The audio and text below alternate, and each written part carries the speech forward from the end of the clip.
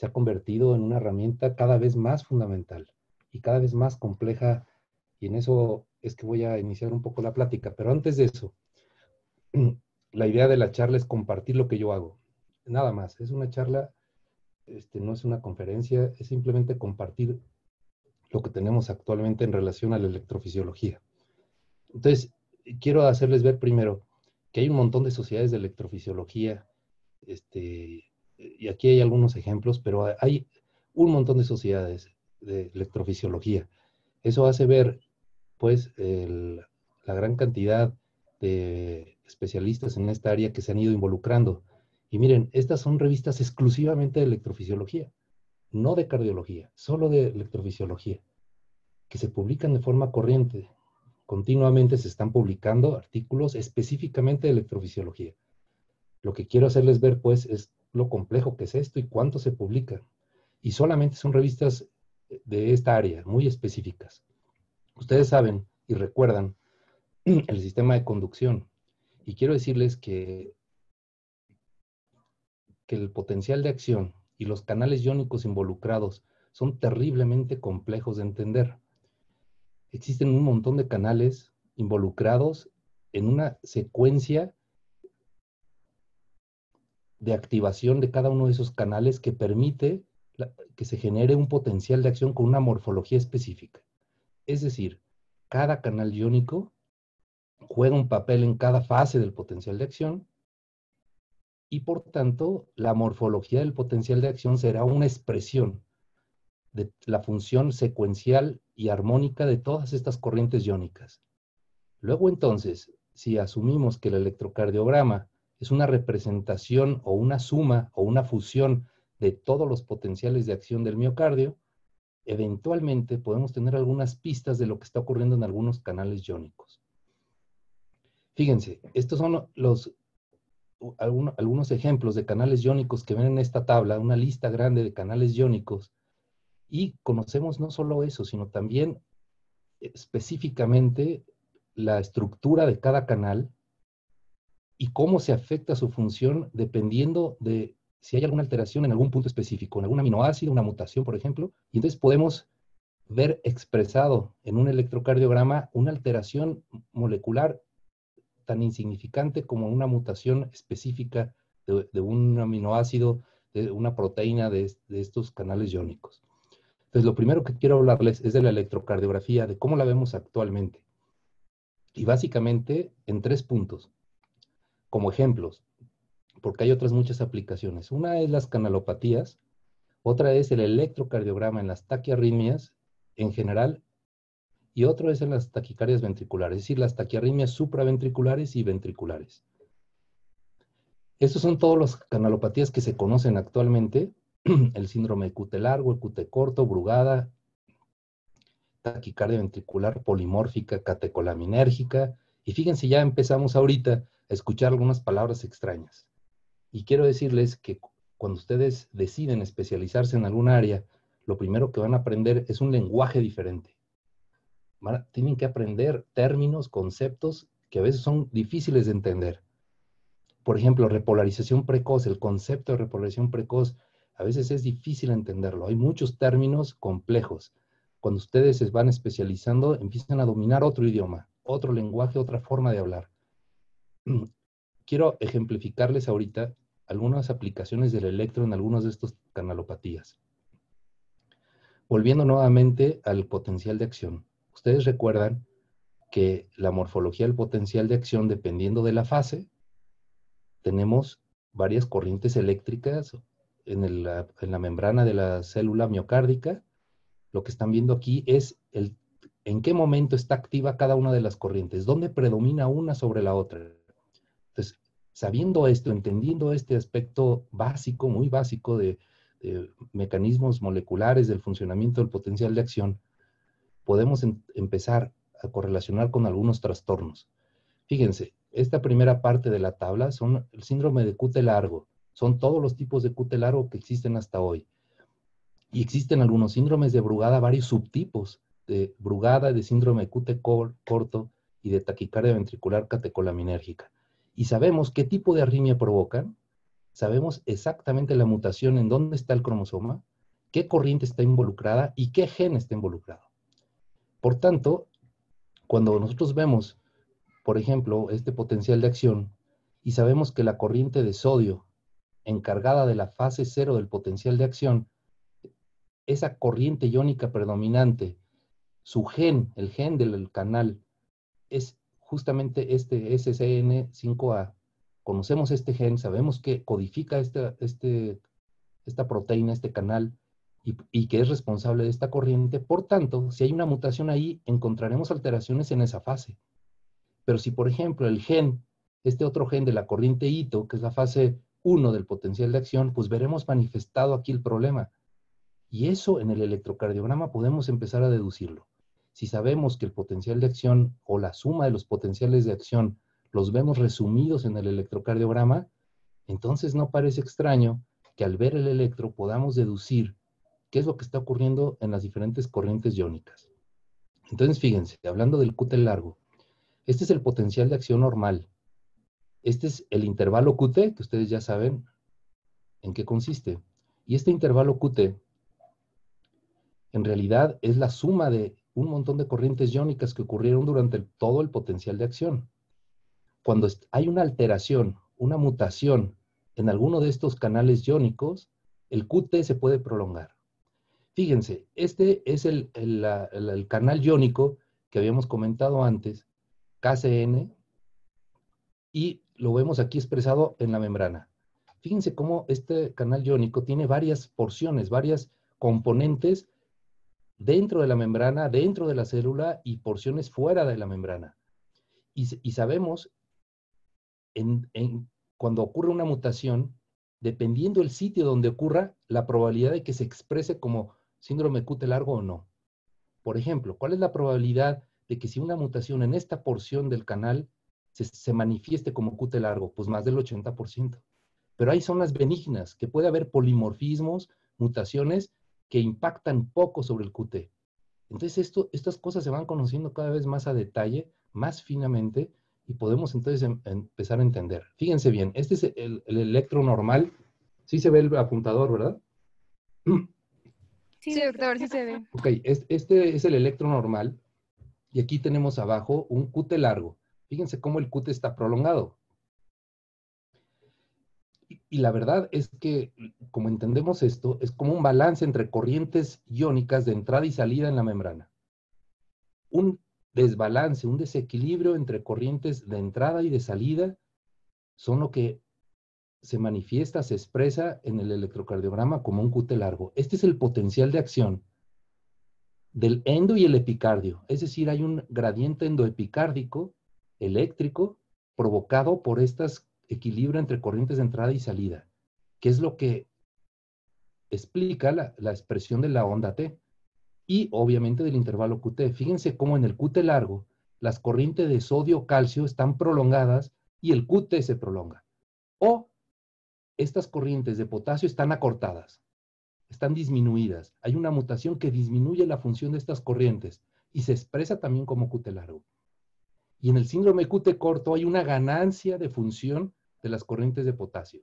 Es decir, si algún grupo de corrientes iónicas es, hiperfunciona, funciona de más o funciona de menos, tendrá una expresión específica en el electro.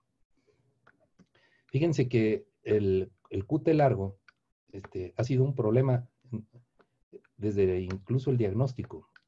Es decir, eh, es muy, a veces muy difícil medir el QT, identificar exactamente dónde termina la onda T. Y esto lo hizo Biskin.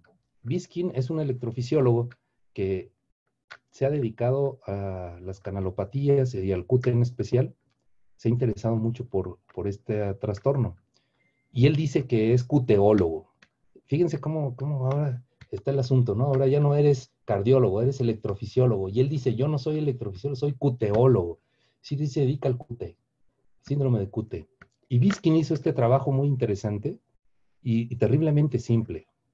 Les dio cuatro electrocardiogramas que están aquí marcados A, B, C, D, y se los dio a 877 médicos, especialistas y no, y no especialistas.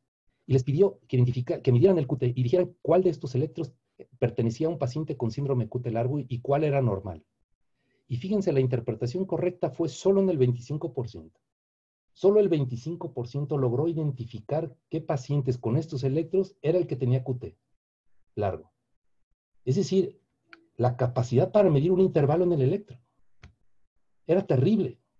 Y fíjense, la variación entre expertos era hasta del entre electrofisiólogos, era de 80 hasta 80 milisegundos de diferencia entre un electrofisiólogo y otro.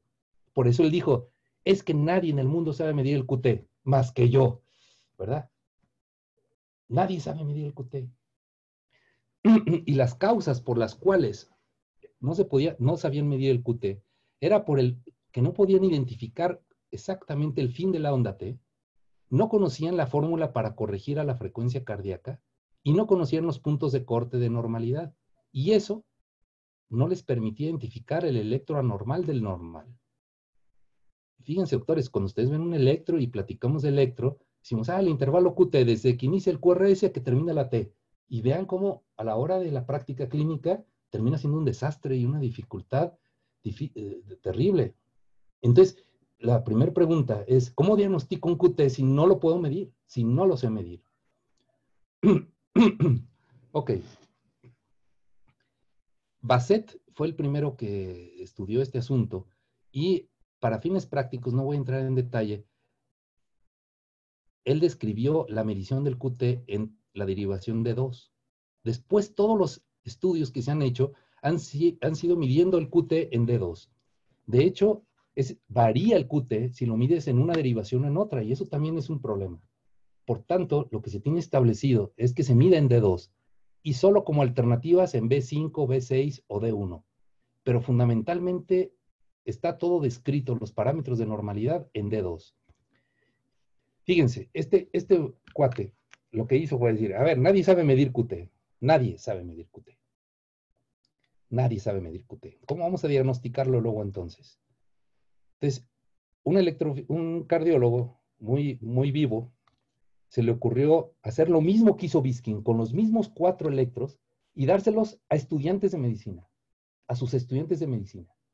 Pero, y que, para que identificaran quiénes tenían QT largo y quiénes no. Pero antes de dárselos, les explicó cómo medir el QT, cómo corregirlo. Y les dijo, mira, para identificar dónde termina la T, tú traza una línea, una tangente en la porción descendente de la onda T.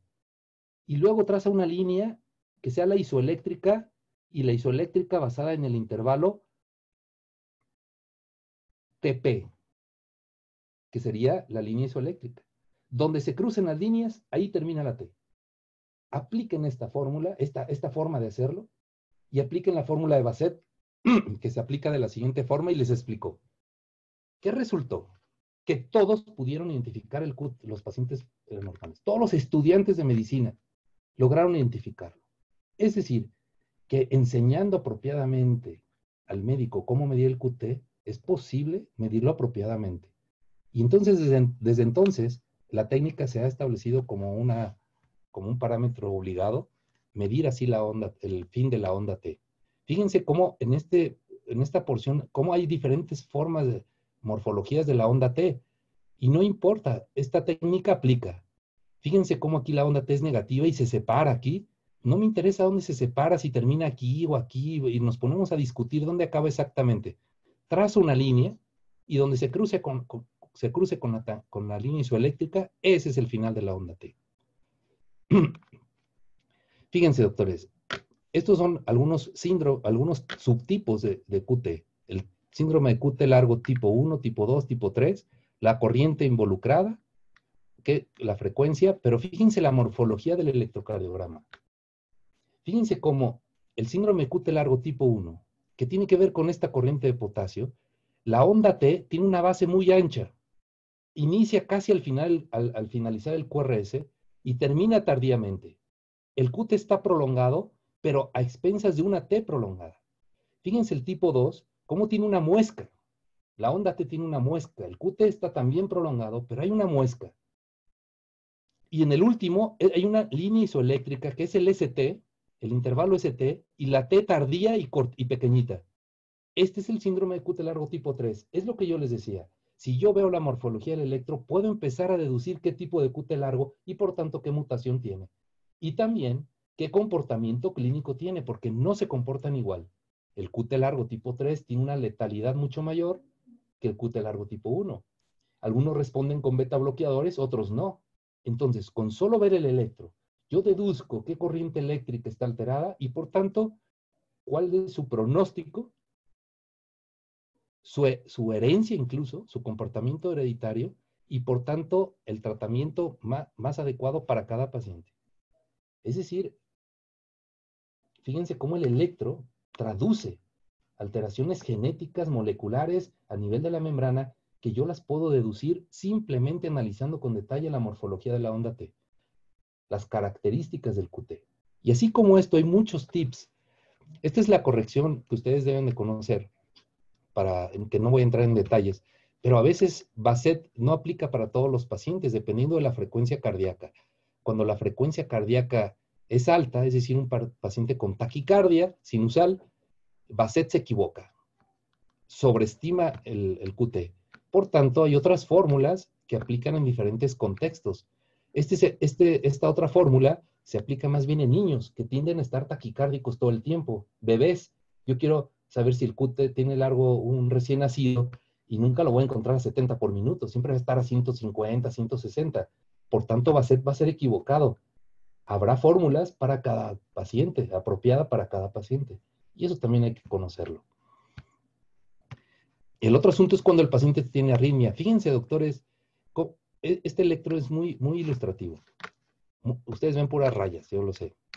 Pero fíjense, aquí están los QRS y vemos cómo hay algunas extrasístoles. Este es un latido sinusal, este es un extrasístole ventricular.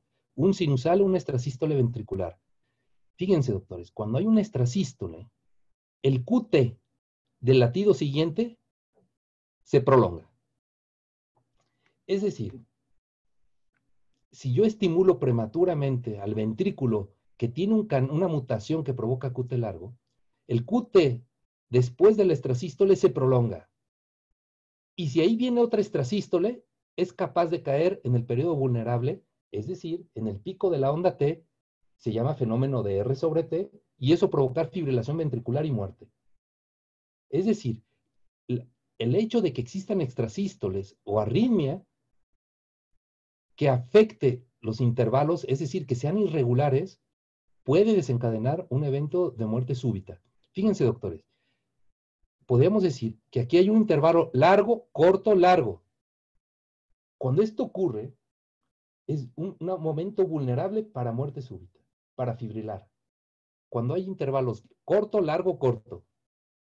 esa, esa secuencia de un RR corto, largo, corto, es lo que desencadena finalmente la muerte súbita. Es decir, conocemos que las extrasístoles a veces son los disparadores. El otro problema es la duración del QT. Lo que sabemos es que este es un, e, e, este trabajo muy interesante y, bonito porque, este, fíjense cómo es Biskin otra vez el cuteólogo, ¿no? Fíjense, ¿qué es normal y qué no es normal? y eso aplica en toda la medicina para cualquier cosa. ¿Dónde está el límite de normalidad? Porque habrá pacientes que claramente tienen el QT largo y no tengo duda que tienen síndrome QT largo, pero hay pacientes normales que tienen el QT un poco largo, pero es normal y no tienen el síndrome. Es decir, hay una zona gris de intersección en donde yo mido el QT y puede ser que lo tengo, puede ser que no. Lo que sí es un hecho, fíjense aquí en, la pirámide de la derecha, a partir de, de 470 milisegundos, el 43% tiene QT largo. Pero si el QT está en 440, ninguno tiene QT largo. Es decir, a mayor QT, entre más prolongado, más probable es que tenga el síndrome. Entonces, por eso utilizo un punto de corte, y el punto de corte habitualmente es de 470 para términos generales, aunque varía de mujeres a hombres. ¿Ok? De mujeres a hombres. A partir de 450 en hombres, a partir de 460 en mujeres. Y fíjense, cuando está arriba de 500 es un predictor de muerte súbita. Es decir, si está muy prolongado es más probable que haya una arritmia ventricular, fibrilación ventricular y muerte súbita. Por tanto, medir el QT no solamente permite detectar al paciente, sino identificar el de alto riesgo. Y obviamente también habrá síndrome de QT corto, cuando está eh, menor de 330. Los QT cortos es muy raro verlos en la clínica. Y la razón es que son muy letales. Entonces no sobreviven. Estos pacientes se mueren de niños. O sea, dicen, es que el niño se quedó dormido y se ahogó. ¿Eh? La muerte de cuna. Y en realidad fue un QT largo. Es decir, es una de las causas de muerte en infantes, en bebés. Y como no llegan adultos, pues los vemos poco, los diagnosticamos poco, porque tiene una letalidad muy alta. Entonces el síndrome QT corto lo vemos poco, por esa razón. Obviamente existen criterios, ¿verdad? Para diagnosticar QT que no involucran solamente el QT, sino otros parámetros electrocardiográficos y la clínica. Si nosotros tenemos varios criterios, podemos sospechar seriamente de un QT. Aquí es fundamental la historia clínica, específicamente buscando muerte súbita. Fíjense, aquí está el síndrome de muerte infantil en la familia, ¿verdad? Si hay un, bebé que murió súbitamente y nadie supo por qué, pues ya le damos un punto. ¿ah?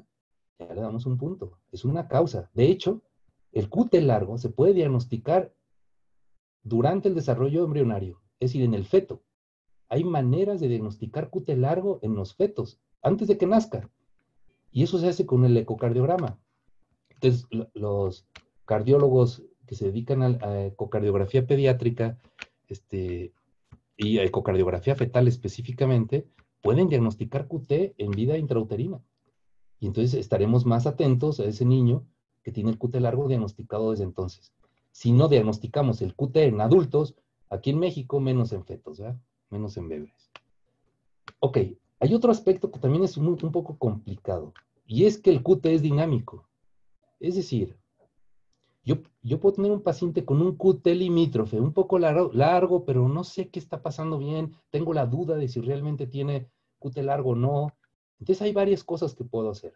Fíjense esta maniobra que se llama prueba de Biskin, del cuteólogo. Él desarrolló esta prueba y, fíjense que, cosas más simples, terriblemente simples. Fíjense bien. ¿Cuál es la idea? De, si yo aumento la frecuencia cardíaca, voy a, a forzar al canal iónico enfermo, mutado, a que trabaje más. Y como está enfermo, no tiene manera de, no tiene reserva funcional ese canal.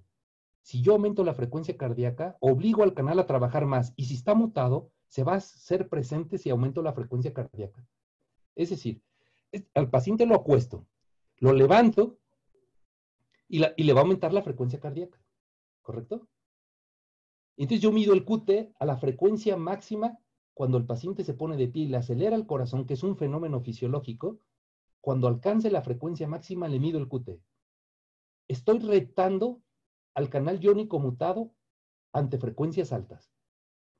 Después de que el paciente dura un rato este, parado, la frecuencia va a empezar a bajar y va a llegar muy cercano a la basal y permanece parado. Y el QT debe acortar. Es decir, el, QT depende de la frecuencia cardíaca. Yo lo que esperaría cuando el paciente se pone de pie es que aumenta la frecuencia cardíaca y el QT se acorta. ¿Correcto? Fíjense, Biskin lo que demostró en pacientes con QT largo es que cuando yo lo pongo de pie, el QT no se acorta, se alarga. Y cuando llega a la frecuencia basal, permanece prolongado. Entonces, esto se le llama estiramiento del QT. Cuando yo lo levanto al paciente, acelera y el QT no se acorta, sino que se prolonga, justo lo opuesto de lo normal, digo que el QT está estirado. Se estiró el QT. ¿Eh? Y si no recupera, no se acorta una vez que la frecuencia baja, decimos que el QT se aturdió, aturdimiento del QT. Lo que estoy haciendo es retando al canal con esta maniobra tan simple. Fíjense, este es un paciente nuestro. QT corregido basal de 469, limítrofe, ¿verdad? Fíjense cómo aquí está el QT y yo lo pongo de pie. Fíjense que hay movimiento de que se puso de pie, ¿verdad? al momento de levantarlo, pues hay interferencia. Después espero después de la interferencia que acelere la frecuencia cardíaca. Acelera la frecuencia y el QT se prolonga. Esto no es normal. Esto es estiramiento del QT. Es decir, se prolongó 48 milisegundos. Yo esperaría que se acortara, no que se prolongue. Esto no es normal. Este paciente se le hicieron pruebas genéticas y tenía la mutación. Además, una mutación nueva, que no se conocía en ningún lado del mundo. Se descubrió una mutación nueva a partir de este caso, al hacer el genotipo. Entonces, es una prueba muy simple. Ok. A veces es complicado hacerla, hay que tener mucho cuidado para que no haya mucha interferencia y medir bien, ser muy preciso, medirlo en varios intervalos, etc. Y eso es un poco laborioso, pero es una prueba muy simple que no cuesta un peso. Es terriblemente simple. Otra alternativa es hacerlo con adrenalina. Yo pongo una infusión de adrenalina a dosis crecientes y voy midiendo el QT. Y vean lo que ocurre con los diferentes tipos de QT. Es decir, cuando yo le pongo adrenalina en infusión y voy aumentando la dosis, puede ocurrir varias cosas, que se prolongue, que cambie la morfología de la onda T o que se acorte.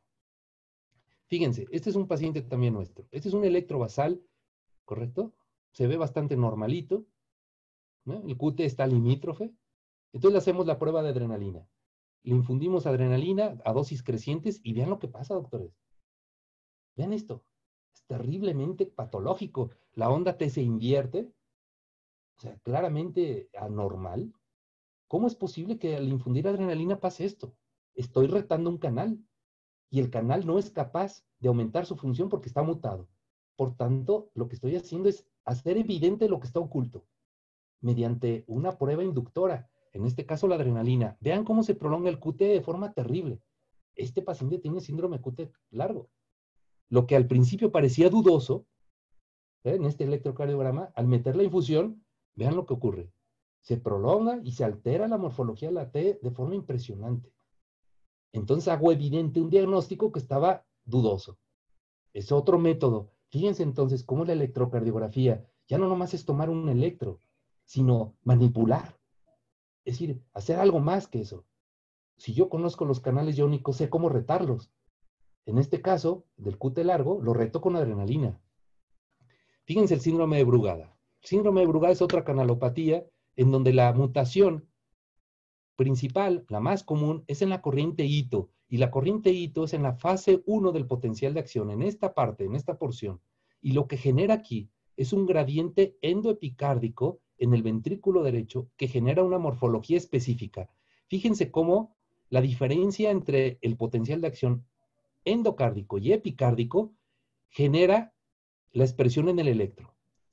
Por tanto, si está mutado el canal, esta corriente iónica en este momento está alterada, está hipofuncionante o hiperfuncionante. En el caso de, del Brugada típico, donde está aumentada la corriente hito, vemos cómo hay una alteración franca del potencial de acción. Y eso se ve expresado una vez fusionado el potencial de acción endo y epicárdico, lo vemos en el electro como una elevación del ST. Esa es la expresión clínica. Y otra vez es una cuestión de balance de corrientes. O están aumentadas estas o están disminuidas estas. Y son los diferentes tipos de brugada, dependiendo en qué canal esté. Entonces aquí están los tipos de brugada, qué corriente iónica, el gen, el gen involucrado y, qué, y si hay hiper o hipofunción de la corriente. Y vean, este es son diferentes formas de evaluar el QT, el, Brugada. Fíjense bien. Lo que se dice típicamente es que el síndrome de Brugada es una morfología que se parece al bloqueo de rama derecha. Tiene una R en B1, se diagnostica en V1 y es R, S y una R que parece R'. Pero esta R' no es una R'.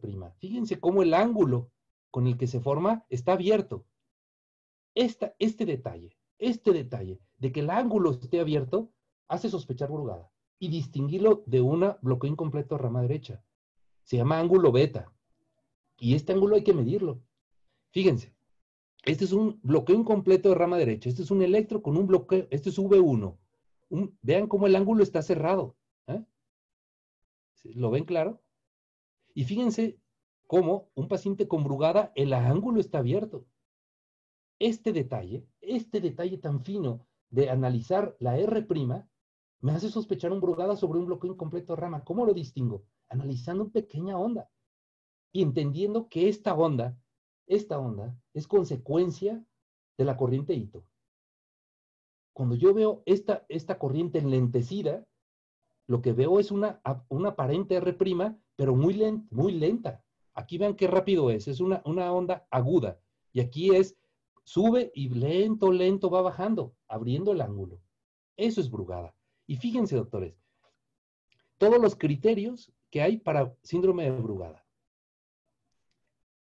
Hay dos patrones, pero este es el patrón diagnóstico, el patrón convexo. Fíjense, los criterios tan finos, todo esto que está aquí, es lo que yo veo en el electro. Por ejemplo, el ST en la parte más alta, ¿eh? El ST en la parte más de 40 milisegundos, es decir, a los 40 milisegundos del ST, ¿correcto? y a los 80 milisegundos. Hay que medir ahí qué tanto se elevó el ST. Ahí es donde se mide el ST. Si yo demuestro que está elevado el ST en ese momento, a los 40 milisegundos del ST, entonces digo que, que eso puede ser brugada. Y mido el ángulo. Y si está abierto, yo digo que, pero fíjense los detalles para poder analizar un electro, los criterios finos del electro. Por eso yo les decía al principio, me, sorprendía terriblemente que, alguien me dijera eso. El, electro se interpreta igual que siempre. Es que esto es nuevo. Estos son criterios recientes de hace poco tiempo. Esto no es, no es de hace 20 años. Hace 20 años no se conocía esto con esos detalles. Ahora lo sabemos. El, electro ya no se interpreta igual. Vean, vean los detalles finos de cómo se interpreta un electro. Fíjense, este es un este es un caso interesante eh, eh, por el siguiente motivo. A ustedes les va a ocurrir que cuando acaben la residencia, la especialidad, pues regresan a donde van a trabajar y evidentemente no van a tener trabajo. Entonces, cuando llegan recién, pues dices, ¿y ahora qué hago, no? O sea, lo que, lo que más tienes es tiempo, ¿no? No, no tienes pacientes, no tienes, nadie te conoce, nadie, ¿no? No sabe ni qué hiciste, ni qué no hiciste, o sea, nadie te conoce. Entonces, este paciente llegó al Ángeles, al Hospital Ángeles de aquí de Querétaro, 34 años con un síncope, ¿eh? que lo catalogan como vasovagal. Obviamente, yo en cuanto llegué, repartí tarjetas por todos los hospitales. Dije, lo que necesite me habla. ¿eh? Pues tenía tiempo, ¿eh? Y pues pasaba una semana, dos semanas, un mes, dos meses, y nadie me hablaba, obviamente, ¿no? Entonces, este paciente llegó por un síncope y le hablaron a los internistas, ¿eh? Era domingo en la noche. Ningún internista contestó. Le hablaron a los cardiólogos y ninguno contestó.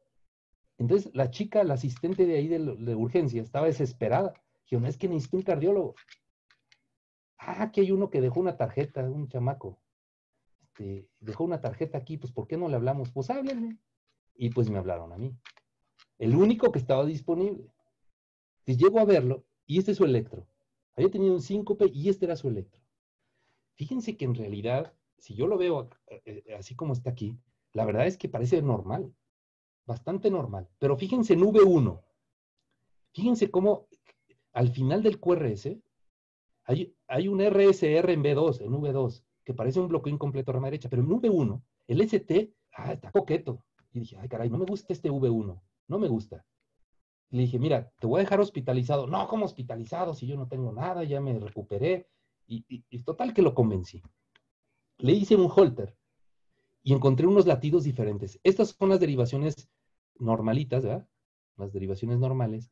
Y vean, este, este electro tomado después, ahora ya cambió, ya no es igual. Y vean V3. En V3, ¿eh? vean cómo está ya la morfología como de, la silla de montar, de brugada. Y vean cómo es diferente a esto. ¿eh? Ay, ay, ay, hay unos cambios ahí. Entonces, lo que hicimos fue darle hacerle una prueba. Estas son las derivaciones de Brugada, mira, ¿eh? que son derivaciones superiores. Bueno, a este paciente le propuse hacerle una prueba farmacológica para retar el canal. Y, le dimos norfenón, ¿eh? flecainida, mira, prueba con flecainida. Fíjate, este es el, electrobasal, este es B1, V1 normalito, el primero que vimos. Y esta es la derivación de Brugada, ¿eh? la derivación de Brugada. Fíjate, a los 90 minutos de la flecainida, Vean cómo empieza a cambiar. ¿eh? Vean cómo empieza a ensanchar. Vean cómo empieza a ensanchar más. Ensancha, mira el patrón de Brugada. Desenmascarado por un fármaco. Es decir, lo que yo hice con la flecainida fue retar la corriente hito. Estaba mutada. Y al estar mutada, al retarla, se hace evidente lo que estaba oculto. En el caso del Brugada, esto a veces ocurre con la fiebre. Un paciente que tiene fiebre presenta este patrón típico de Brugada. Se le quita la fiebre y ahora tiene un electro normal. Es decir, la fiebre, un, paciente que sospecha es Brugada y tiene un cuadro de gripa, le da fiebre, tómale un electro. Si hace este patrón de Brugada, ahí está, se hizo evidente. La fiebre es otro estímulo para hacer evidente lo que estaba oculto. Es decir, hacer evidente un Brugada en este caso fue con flecainida. Fíjense, este otro paciente, 73 años, de San Miguel, tuvo un síncope súbito. Y este es su electrovasal, mira. Vean, vean cómo esto no, esto no puede ser un bloqueo de rama derecha, por el amor de Dios. Vean el ST elevado. Incluso más de alguien podría decir, tiene un infarto, porque está elevado el ST. Pero vean la morfología claramente distinta de un infarto, con elevación del ST. Esta elevación del ST es típica del Brugada. Y fíjense cómo si le damos fármaco, este, si le damos fármaco lo hacemos evidente. Este también le hicimos la prueba y se hizo evidente, es un brugada. Y, este paciente tiene 73 años. Yo le dije, tiene, tiene brugada. Tiene brugada. Y, se, y tuvo un síncope súbito, es decir, una muerte súbita. Sobrevivió a una muerte súbita. Eso no fue un síncope, fue una muerte súbita abortada. Y tiene brugada. Y yo le dije, ¿sabe qué? Se va a morir. Oiga, ¿cómo que me voy a morir? Mire, esta enfermedad lo que provoca es fibrilación ventricular y muerte súbita. ¿Qué es eso de muerte súbita? Que se muere repentinamente, sin aviso. Doctor, así me quiero morir. Justamente así es como siempre he soñado morir, súbitamente y no encamado enfermo de otra cosa. Déjeme así. Se fue y no volvió. O sea, se le, murió como quiso. Muerte súbita. Nunca quiso que se le pusiera un desfibrilador ni nada. ¿verdad? Dijo, no, déjeme así, doctor. Qué bueno que tengo esto, voy a morir como quiero. Ups, es el primer paciente que le diagnostico brugada y que está feliz. Fíjense, este es otro paciente que llegó por un dolor torácico atípico, ¿eh? un, piquete en el pecho. Y este es su electrovasal. Vean V1, con el ángulo ligeramente abierto. Vean acá, V1. ¿eh? Fíjense cómo se abre el ángulo, ¿eh? en V1, V2. Vean aquí. Esto es brugada. Esto es brugada. Bueno, Repolarización precoz, que es otra canalopatía. El problema de la repolarización precoz fue que, siempre se ha considerado una variante normal. Heisagir es un electrofisiólogo francés, este, muy, muy productivo en muchos sentidos, y, él publicó por primera vez en New England en el 2008 casos de repolarización precoz, que es, fíjense cómo el QRS normalmente termina súbito, pero en algunas derivaciones hay una perdón, una pequeña muesca, ¿verdad? Una pequeña muesquita al final del QRS. Es decir, repolarización precoz. Eso se había considerado como normal. Entonces él, publica casos que tenían repolarización precoz, pacientes que tuvieron muerte súbita y que en su electro solamente había repolarización precoz. Entonces, todos los pacientes que tenían muerte súbita, lo que dijo es, a ver, vamos a ver su electro. Y los que tenían repolarización precoz tenían más probabilidades de morir, de volver a tener otro evento. Entonces él dijo, eso no es normal. Lo que habíamos dicho que era normal, parece que no está normal. Y ha sido una discusión terrible esto de la repolarización precoz, al grado tal de que ahora hay otros intervalos en el electro. Por ejemplo, el está el intervalo o la, el punto J o el punto JP y el punto JT. Ya no es un punto J, ahora hay otros puntos también. Vean cómo esto ya, ya, no, es, ya no es lo típico que tú lees en un, en un libro de electro. Que te dicen el punto J. Ah, no, ahora, ¿cuál J? ¿El JO, el JP o el JT? Y luego las distancias, D1 o D2. ¿Ah? ¿Qué distancia? Y basado en esto, yo puedo decir si esto es repolarización precoz o es una muesca. ¿Cuál es la definición de muesca o empastamiento? pues se basa en las mediciones de, estos, de identificación de estos puntos. Por ejemplo, aquí ven claramente que en la repolarización precoz el JP subió de nivel. En cambio, en esto que es benigno, que es una repolarización precoz benigna, en realidad es descendente, no hay JP, del JP pasa JT. Es decir, no hay una elevación este, franca. Entonces, esto también hay que medir el ángulo de la onda T. Es decir, hay una definición de empastamiento. ¿Qué es exactamente un empastamiento? Y esa definición ha surgido para poder definir esto. Fíjense, este, este electrocardiograma que está aquí abajo a la derecha es un síndrome de repolarización precoz de morfología maligna. Es decir, hay repolarización precoz benigna y maligna. ¿De qué depende del análisis de la porción final del QRS? Fíjense esto, doctores. Este paciente tiene repolarización precoz, tiene una onda RS y aquí está la onda de repolarización precoz. Repolarización precoz, repolarización, una extrasístole y vean la repolarización precoz cómo aumenta. ¿Sí ven? Es decir, la pausa postestrasistólica provoca que la onda de repolarización se haga más evidente. Y fíjense, cuando eso ocurre, una extrasístole se aumenta la repolarización precoz y FB, fibrilación ventricular. Es decir, pasa lo mismo otra vez. Cuando hay un, intervalo corto, largo, corto, ¿eh? Se afecta la repolarización precoz, se hace más evidente y hace una fibrilación ventricular y muerte súbita. Este es un patrón maligno de repolarización precoz y explica por qué algunos pacientes tienen un electro aparentemente normal y tuvieron una muerte súbita, jóvenes. Bueno, aquí acabo con este asunto de las canalopatías y ahora quería comentarles con algunas taquiarritmias supraventriculares de QRS angosto. Fíjense este algoritmo. El QRS angosto o ancho define las taquicardias de QRS angosto o ancho. Y hay, a través del análisis del electro, maneras de ser muy detallado en el diagnóstico si es regular o es irregular, si hay ondas P o no hay ondas P, si hay más aurículas que ventrículos, medir el intervalo RP, ¿eh? si es corto o largo, y si es mayor o menor de 70 milisegundos. Y entonces yo puedo definir qué arritmia es específicamente. Fíjense, esta taquicardia. Esta es una taquicardia de QRS angosto. ¿Y dónde está la onda P? fíjense cómo el algoritmo dice, ¿hay ondas P visibles, sí o no? Fíjense bien, dice, ¿hay ondas P visibles? Yo he tenido un problema terrible con este algoritmo. Dice, el taquicardia de QRS angosto regular. ¿Hay ondas P visibles, sí o no? Entonces yo les pongo un electro y digo, ¿hay ondas P visibles, sí o no? Y mi pregunta inmediata es, ¿visible para quién? ¿Para el estudiante novato? ¿Para el internista? ¿Para el cardiólogo? ¿Para el electrofisiólogo? ¿Para quién? ¿Visible para quién? Una cosa es que haya P y yo no la vea, y otra cosa es que no esté visible realmente para nadie. No es lo mismo, no es lo mismo. Lo que para ustedes pudiera parecer que no hay onda P, para mí es muy clara que hay onda P. Y la onda P es esta pequeña muesca. Fíjense aquí en, en, D1 hay una pequeña muesquita aquí. Esa es la onda P. Es una, aquí, esta muesca que está aquí en, en ABR, esa es una onda P. Fíjense aquí en V1, esa pequeña muesquita que está aquí, ese chipotito que está ahí pequeño, esa es la onda P. Entonces, ¿visible para quién? Tú vas a decir, yo no la veo. No, pues tú no ves nada, ¿no? Pero no es ni el QRS, yo creo.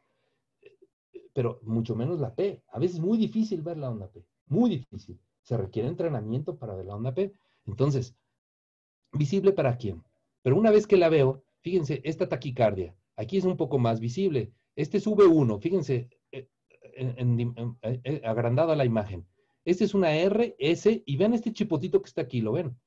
Este chipotito de aquí es la onda P. Es la onda P. Esta es la onda P. Acá también se ve el chipote, mira. Que incluso se describe como una pseudo S en D2 de 3 ABF o una pseudo R' en V1, porque no es una onda R', es una onda P. Eso es una onda P. Y fíjense, cuando la onda P esta es una taquicardia, ¿ok? Este es el QRS de una taquicardia y este es el otro latido de esa taquicardia. Yo, veo la onda P. Fíjate bien, si la onda P no la veo porque está dentro del QRS, esto es una reentrada intranodal. Si la onda P está en la porción final del QRS o en la parte inicial del QRS, eso es una reentrada intranodal. Pero si está en el ST, es una vía accesoria y lo más probable es que sea del lado derecho. Si está en la porción ascendente de la onda T, es una vía accesoria izquierda. Si está en la porción descendente de la onda T, eso es una taquicardia auricular.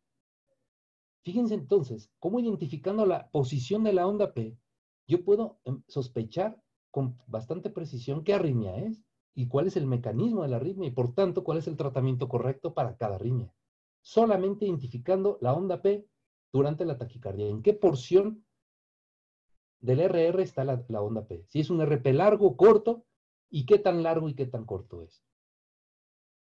Y una vez sospechando eso, lo que yo puedo hacer eventualmente es meter algunos cables al corazón. ¿ah? Estos son unos cables metidos por la ingle, por la vena femoral, suben los catéteres y los meto al corazón. Este catéter está en el seno coronario, este está en el GIS y este está en la aorta. ¿eh? y que entra al ventrículo izquierdo, ¿eh? de forma retrógrada al ventrículo izquierdo, y después hace una curva hacia el anillo mitral. Estoy, estoy en, el, anillo mitral. Entonces yo tengo la taquicardia, ¿correcto? Y, y, registro en estos puntitos negros que están aquí, tengo el registro eléctrico del potencial en ese sitio, justo en ese sitio. Es decir, por un lado tengo el electrocardiograma, pero por otro lado tengo registros intracavitarios puedo hacer un registro intracavitario que no se llama electrocardiograma, se llama electrogramas. Esos electrogramas, fíjense cómo aquí abajo tengo el GIS, puedo registrar el GIS. Con un cable dentro del corazón puedo registrar el GIS, la rama izquierda, la rama derecha, todo. Evidentemente, si yo puedo registrar eso, puedo saber qué arritmia es. Vean, esto es lo que yo registraría. Este es el electro de 12 derivaciones, es un catéter en el GIS y esto es en el seno coronario. Y yo tengo una secuencia de activación desde el GIS y la aurícula. Y basado en esto yo puedo decir que esto es una vía accesoria lateral izquierda. puedo diagnosticar con mucha precisión una arritmia por la secuencia de activación por donde va corriendo. Yo sé que va subiendo por la vía, despolariza la aurícula, baja por el sistema de conducción normal, etc. Yo puedo deducir eso y digo, esto es una vía accesoria. Y entonces voy a ese punto y lo quemo. ¿ah? Y elimino la vía. Ese es un tratamiento muy preciso para una arritmia, basado en el registro intracavitario. Hablando ahora de taquicardias ventriculares. Fíjense, las taquicardias ventriculares, pues depende mucho si el corazón está enfermo o no. Si el paciente tiene infartos previos, falla cardíaca, etcétera, o el corazón es sano y tiene taquicardia. Entonces, esas taquicardias les llamamos taquicardias idiopáticas. Y las taquicardias idiopáticas en pacientes sanos, jóvenes generalmente, y sanos por lo demás, Fíjense todas las taquicardias que existen, que se originan en el ventrículo izquierdo, ¿eh? supravalvular, en la cúspide coronariana izquierda, en la cúspide coronariana derecha, en la cúspide no coronariana, en la unión de entre las dos cúspides, en la continuidad mitroaórtica. Fíjense las zonas tan específicas.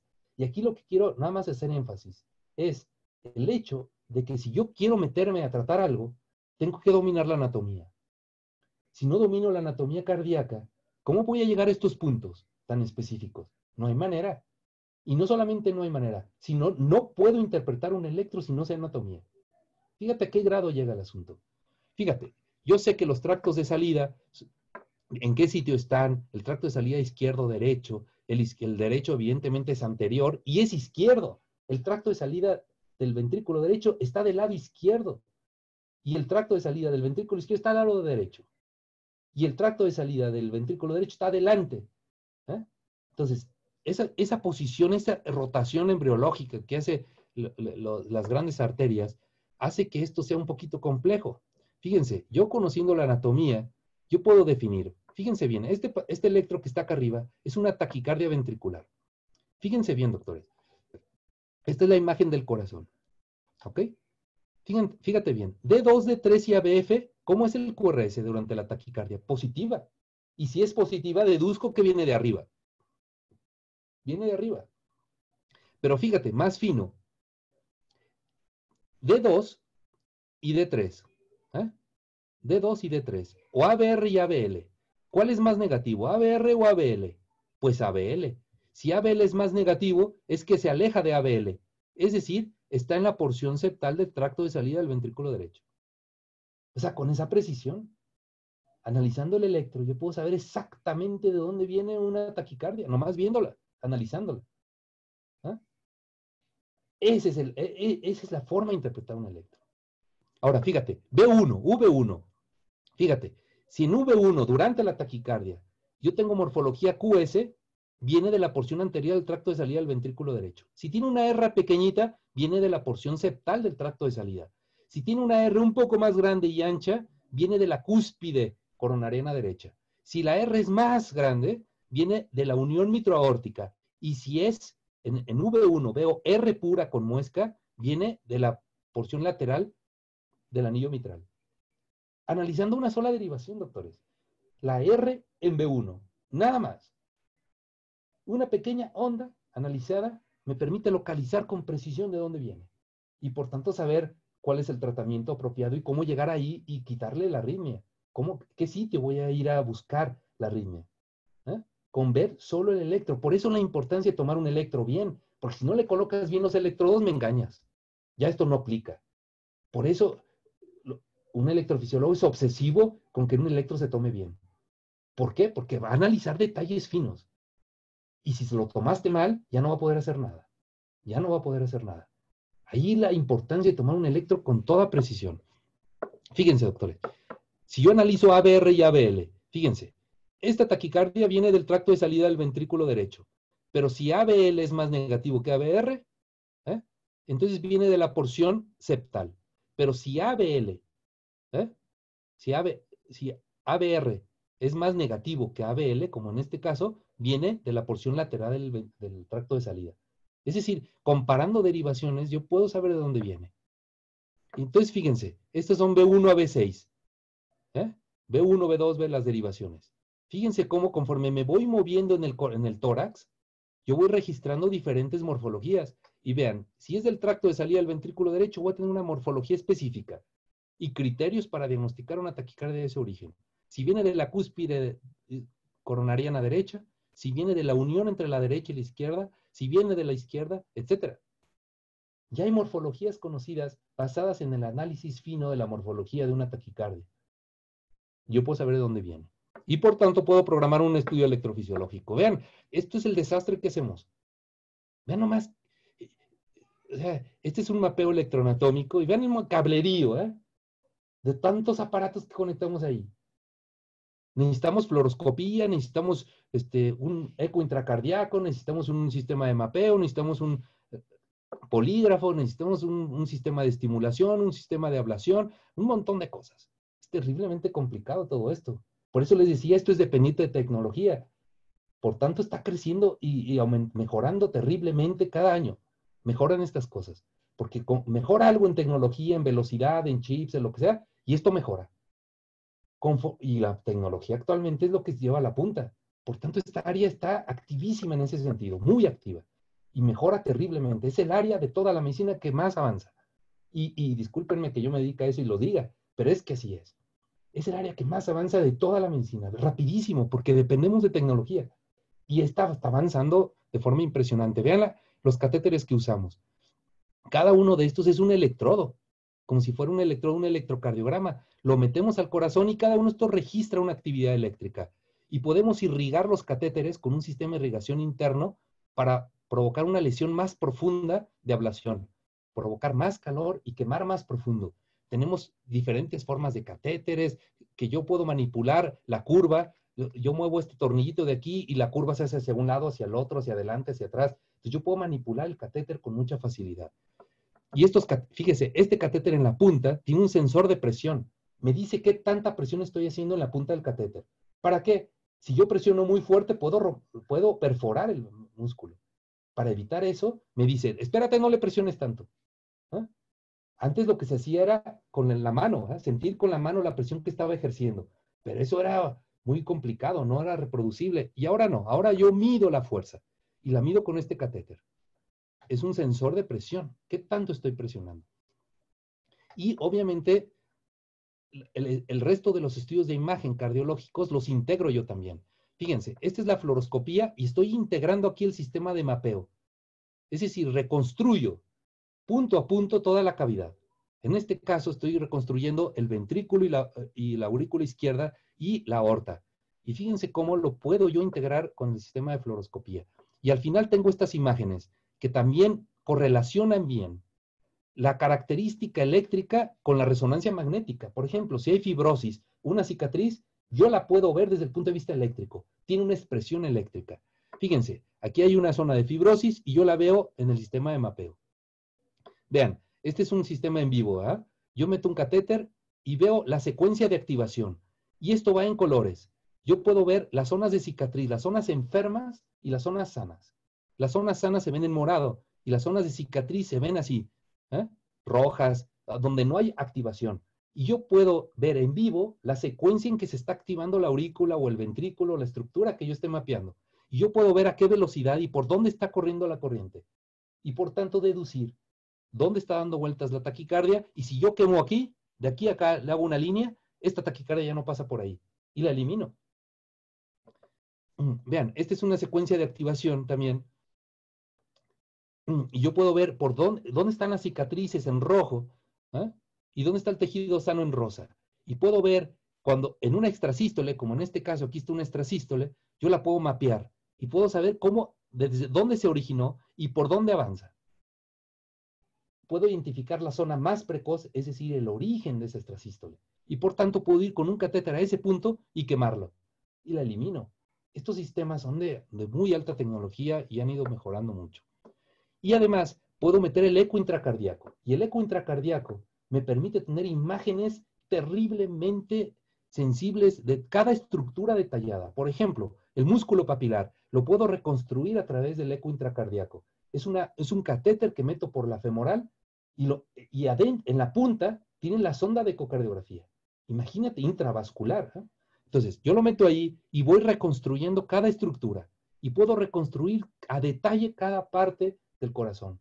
Entonces, lo que estoy haciendo en realidad es reconstruyendo la anatomía con precisión y después correlacionarlo con lo eléctrico para poder hacer una ablación de forma muy dirigida. Bueno, cambiando un poco de tema, la, otra, área fundamental de la electrofisiología es los dispositivos de estimulación. Fíjense, este es el primer marcapasos que, se inventó. Vean cómo tiene una batería aquí atrás.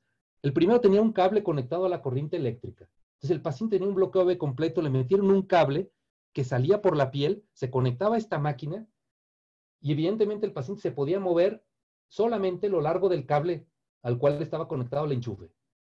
Pero estaba vivo. Después a alguien se le ocurrió poner una batería. Entonces ya llevaba su carrito el paciente y ya podía moverse más. Y este es el primer marcapasos externo en un niño. Fíjense, este, este, este, este, niño ya tiene un marcapasos portátil, ya puede caminar y salir y correr y para ir para allá, ¿eh? con muchos cuidados, porque si se le sale el cable, pues se muere. Es un bloqueo congénito. Vean el tamaño de los marcapasos, era una inmensidad y las características de los cables eran así como muy burdos, ¿verdad? Y vean cómo han ido evolucionando. Estos eran los primeros dispositivos y se han ido haciendo cada vez más pequeños, más pequeños, más pequeños, hasta llegar a los dispositivos actuales que son sumamente pequeños. Incluso, ahora ya hay marcapasos sin cables. Este es un marcapasos sin cables que se pone en el miocardio, se inserta con estas anclas y empieza a estimular, sin cables. Entonces se queda dentro del corazón. Y esto ya está en el mercado y funciona. Yo siempre he pensado que, el futuro del tratamiento del bloqueo AB completo es un dispositivo no, que no implique batería, que sería conectar, eh, el nodo está enfermo. Entonces yo conecto antes del bloqueo y después del bloqueo y que conduzca por ahí con cierto retraso. Y santo remedio, se corrige el bloqueo AB. ¿Ah? Este, este, dispositivo yo creo que sería el futuro. ¿ah? Y vean este dispositivo, el tamaño que tiene. ¿Ah? Sería un dispositivo sumamente pequeño para corregir un bloqueo AB. Esto viene adelante. Y otros sistemas de mapeo como, los, como esto, poner un electrodo en la superficie del corazón para poder mapear con todo detalle toda la superficie del miocardio. Eso se está haciendo. Y, no, en no en mucho tiempo empezaremos a tener sistemas más detallados. Cuando un paciente tiene falla cardíaca y yo lo quiero estimular, puedo poner un dispositivo de estos y estimular de forma secuencial cada punto según yo lo programe. Y eso corrige o potencialmente corrige la función ventricular en un paciente con falla cardíaca. Ahora lo que hacemos es utilizar resincronizadores. Un resincronizador es un marcapasos de tres cables. ¿ah? Entonces, un cable va al ventrículo derecho, otro a la aurícula derecha y otro al seno coronario para estimular el ventrículo izquierdo. un paciente con falla cardíaca que tenga criterios para implantar este dispositivo, el paciente está sentado, si se acuesta se ahoga, tiene disnea, ortopnea, el paciente da un paso y se ahoga. Tú le pones este dispositivo y el paciente empieza a caminar. Sin disnea. Sin disnea. Y después de seis meses, un año, la función ventricular se recupera. Si tenía 20 de FEBI, y yo lo veo un año después, seis meses después, y ahora ya tiene 40 de FEBI. Y después lo veo a los dos años y ahora tiene 45. Es decir, esto nos ha demostrado que la falla cardíaca, una buena proporción de pacientes con falla cardíaca es una enfermedad eléctrica. Porque todo el mundo dice, ah, es que la falla cardíaca es un problema del miocardio. Es una enfermedad miocárdica. Y ahora sabemos que no, que muchos tienen un componente eléctrico, que la falla cardíaca es una enfermedad también eléctrica. Y cuando yo entiendo eso, entiendo que la secuencia de activación del miocardio es tan fundamental como la fuerza de contracción, entonces empiezo a entender esto. Entonces e, estas terapias son mágicas. El paciente ahogado, le pones un dispositivo de estos y empieza a caminar. Y el paciente no es sintomático y mejora la función ventricular y disminuye la probabilidad de arritmias. Y si tiene arritmias, este dispositivo es un resincronizador con desfibrilador y le dará una descarga eléctrica. Si, este paciente se iba a morir de muerte súbita, presenta una taquicardia ventricular, fibrilación ventricular y le da una descarga. Es un resincronizador con desfibrilador. Fíjense, esta es otra aplicación del electrocardiograma en fibrilación auricular. Fíjense, yo quiero predecir fibrilación auricular y yo veo el electro de un paciente y yo veo la duración de la onda P, la dispersión y la variación de la onda P, la morfología de la onda P, el eje de la onda P, el intervalo PR, los bloqueos interauricular, todo esto es predictor de fibrilación auricular. Y fíjense, hay algunas características que podemos hacer con cada paciente. Este paciente, por ejemplo, esta duración de la onda P está claramente aumentada. Fíjense cómo esta onda P va cambiando con los años. ¿Eh? Se va prolongando la duración de la onda P y va haciendo una muesca. Este es un bloqueo interauricular progresivo. ¿eh? La onda P medía 110, luego 120, luego es una enfermedad progresiva. Yo puedo predecir un paciente que va a hacer fibrilación auricular por diagnosticar síndrome de Bayes, que es un bloqueo interauricular y es un predictor de fibrilación auricular, analizando la morfología de la onda P y hay criterios para eso. Entonces, esto es la duración de la onda P, la dispersión de la onda P, etcétera, un montón de variables que tienen que ver con la onda P. Entonces yo tengo que analizar con detalle la onda P para, para si quiero diagnosticar estos problemas. Otra vez, esto no se sabía antes. Ahora, ahora se analizan las cosas así. El electro se analiza así. Bueno, estos son dispositivos, cuando yo no puedo detectar una arritmia, son dispositivos implantables. Fíjense, este dispositivo que se llama Reveal Link, que es una marca y otras, está montado en una jeringa y literalmente se inyecta debajo de la piel en una inyección estás inyectando en lugar de un medicamento un dispositivo, que lo dejas allá adentro en el pecho. Y ese monitor, a través del celular, manda información al médico cuando hay un evento. Entonces, yo se lo pongo, se va el paciente a su casa, todo el tiempo lo va a estar monitorizando. Y cuando detecte una arritmia, la va a grabar. Y esto es lo que me va a mostrar. Aquí me muestra un latido normal, normal, normal, normal y fibrilación auricular. Entonces, yo detecto arritmias que son intermitentes asintomáticas. ¿Qué tal que esta arritmia ocurre en la noche a las 3 de la mañana que el paciente está dormido? Pues no va a sentir nada. Yo voy a decir, este paciente está sano y este paciente está haciendo arritmias asintomáticas. Pues ¿cómo las detecto? Con estos monitores y vean el tamaño. Otra vez, esto es dependiente de tecnología. Fíjense, esta es, en fibrilación auricular sabemos con Heisaguir que, que las venas pulmonares son las responsables en la gran mayoría de los pacientes que tienen fibrilación auricular. Y él lo que demostró es que las venas pulmonares, las venas pulmonares, tienen músculo auricular. Es decir, el músculo auricular se extiende hacia adentro de las venas pulmonares. Y esas venas pulmonares tienen actividad eléctrica. Y esa actividad eléctrica, esas extrasístoles, taquicardias originadas en el músculo dentro de las venas pulmonares, origina la fibrilación auricular.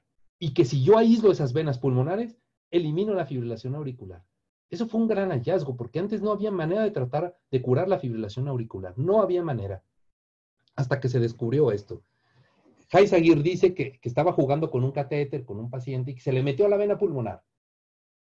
y que eh, estando adentro vio que había actividad eléctrica y entonces empezó a investigar. ¿no? Claro que no, ya sabíamos que había músculo ahí, por disecciones en animales, en corazones humanos. Sabíamos que había músculo y sabíamos que tenía propiedades eléctricas específicas, que era capaz de generar ritmo propio. Incluso tenían corriente fonia ahí adentro. Es decir, tenían capacidad de, de automatismo propio. Y eso, eso, ese automatismo, ese músculo, es la que provocaba la fibrilación auricular. Y entonces, el músculo, la, trayectoria del músculo dentro de la, de, la aurícula es terriblemente complejo. Y no solamente el músculo, sino también la inervación de esta zona es terriblemente compleja. Y esto tiene un componente también, una participación neurogénica. La fibrilación auricular tiene un origen también neurogénico. Entonces, cuando eliminamos la inervación vagal, ¿eh? parasimpática de la pared posterior y aislamos las venas pulmonares, la fibrilación auricular desaparece.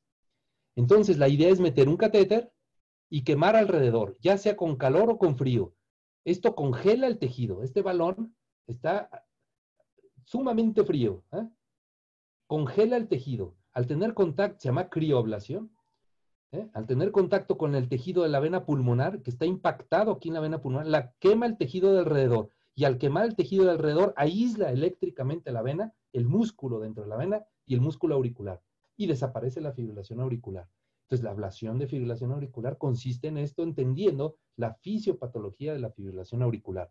Fíjense, este paciente se le está aislando la vena pulmonar. Tiene fibrilación auricular, taca, taca, taca, taca. Estos son las, esto es dentro de las venas pulmonares. Están disparando, taca, taca, taca, taca, taca, taca, rapidísimo, mira. Y esta, está en fibrilación auricular. Yo aíslo la vena y dentro del músculo sigue caótico, taca, taca, taca, pero ya no pasa la aurícula.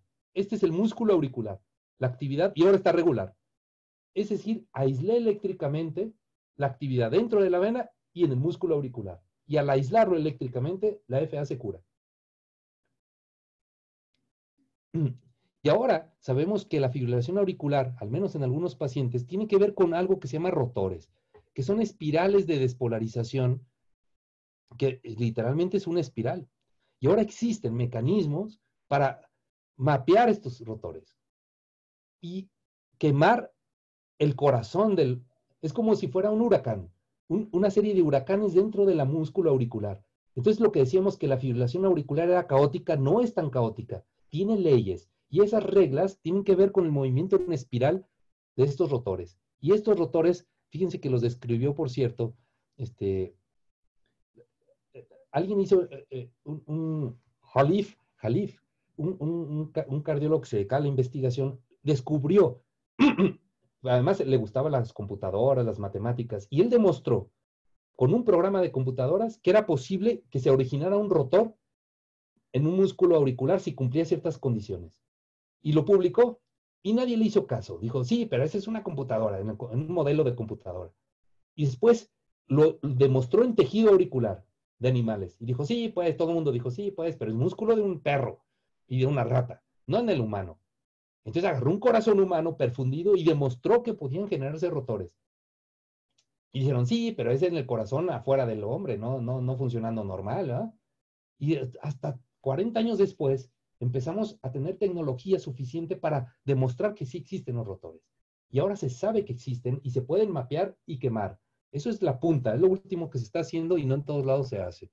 Este, esto de mapear los rotores está en áreas de investigación, pero es muy interesante. El otro asunto es que en la fibrilación auricular hay un riesgo de embolia, que eso es lo que complica mucho a los pacientes. Y los nuevos anticoagulantes y entender la coagulación a detalle ha permitido el desarrollo de otros anticoagulantes terriblemente eficientes y seguros. Conociendo la coagulación, y eso tienes que dominarlo cuando, cuando tratas pacientes con fibrilación auricular, y saber dónde actúan los diferentes inhibidores directos o indirectos. Y sabemos que que la fibrilación auricular de origen no reumático, casi todos los coágulos se originan en la orejuela. Casi todos. A diferencia de los pacientes con cardiopatía reumática. Por tanto, se ha hecho muy atractivo excluir la orejuela. Esta es la orejuela. ¿eh? Esta es la orejuela. Cuando un paciente tiene fibrilación auricular, el flujo dentro de la orejuela se hace muy lento. Tan lento que se cumple con uno de los de la triada de Virchow, que es la estasia. Es decir, el flujo lento. Y el flujo lento predispone a trombos. Y fíjense, sabemos que hay diferentes tipos de orejuelas. Y, el primero que describió esto dijo, ah, mira, esta se parece a, este, a, una ala de, un pollo. Ah, mira, esta se parece a una coliflor. Ah, mira, esta se parece a un brócoli. Ah, mira, a un, a un nopal. Mira, se parece a un nopal. Entonces escribió diferentes morfologías y así se conocen en el mundo. Oye, ¿qué tipo de orejuela tiene? En ala de pollo, en brócoli, y así le llamamos. Porque así lo describió este tipo. Y se dio cuenta que dependiendo de que había morfologías altamente trombogénicos y morfologías de bajo riesgo. Entonces ahora ya nos estamos fijando en los detalles anatómicos de la orejuela para definir si este paciente tiene riesgo o no. Y no solo eso, sino pensar en excluir la orejuela. Y estos dispositivos que han ido mejorando, se llaman Amplatzer, Watchman, lo que se hace es se coloca, fíjense, este es el dispositivo ¿eh? Eh, montado en un catéter, y lo que se hace es meterlo a la orejuela. Se impacta ahí, se libera ahí, y fíjense lo que ocurre. Cuando yo meto el dispositivo, lo, lo atrapo ahí, en la orejuela. Ya el flujo de sangre no entra ni sale. Por tanto, aquí se trombosa y queda excluida la orejuela. Se llama exclusión de la orejuela izquierda. Entonces yo le excluyo la orejuela Después cicatriza, vean cómo cicatriza en el sitio. Este es el dispositivo, ya cicatrizó y la orejuela está del otro lado, excluida. Por tanto, ya no hay sangre que entre ahí. Por tanto, no se forman coágulos. Entonces, esto es una terapia alternativa para muchos pacientes que no pueden tomar anticoagulantes y les previene un EBC. Ok. Bueno, doctores, esto es lo que yo les quería compartir. Este, voy a, voy a este, activar la, cámara porque quiero mostrarle algunas cosas. Ahí, ahí me ven, ¿verdad? Sí. Ok, doctores. Miren, les quiero mostrar algunos detalles. Primero, para que, para que vean estos monitores este, que, yo tengo acá. Fíjense, este es un monitor que parece un USB. ¿ah? Este es como un USB. Este es un monitor implantable se implanta en el pecho, en el precordio, con una pequeña herida, se mete ahí y se cierra.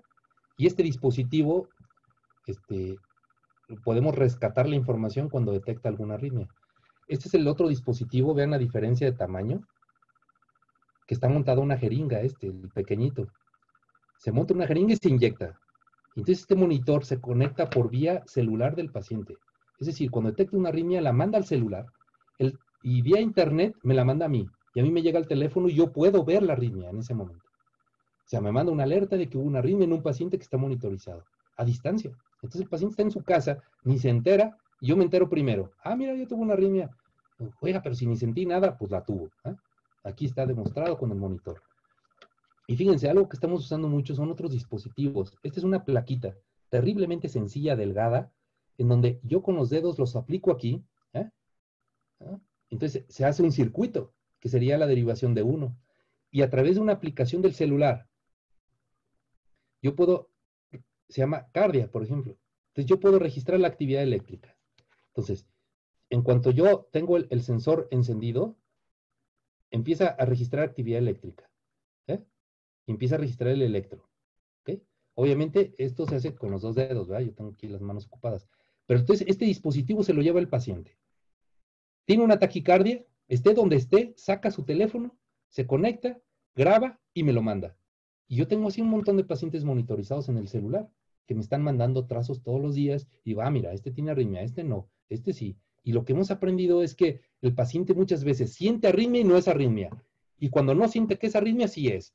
O sea, no, check, no cuadra lo, lo, que siente el paciente con lo que yo registro a través de estos monitores. Entonces, son monitores muy baratos y otra vez, haciendo el énfasis, esto es dependiente de tecnología. Por tanto, estas formas de comunicación nos han obligado o nos han permitido desarrollar un montón de cosas. Fíjense, este es un dispositivo nuevo. A ver si lo logran ver. ¿Sí lo ven? Fíjense, son como, un boomerang, ¿no?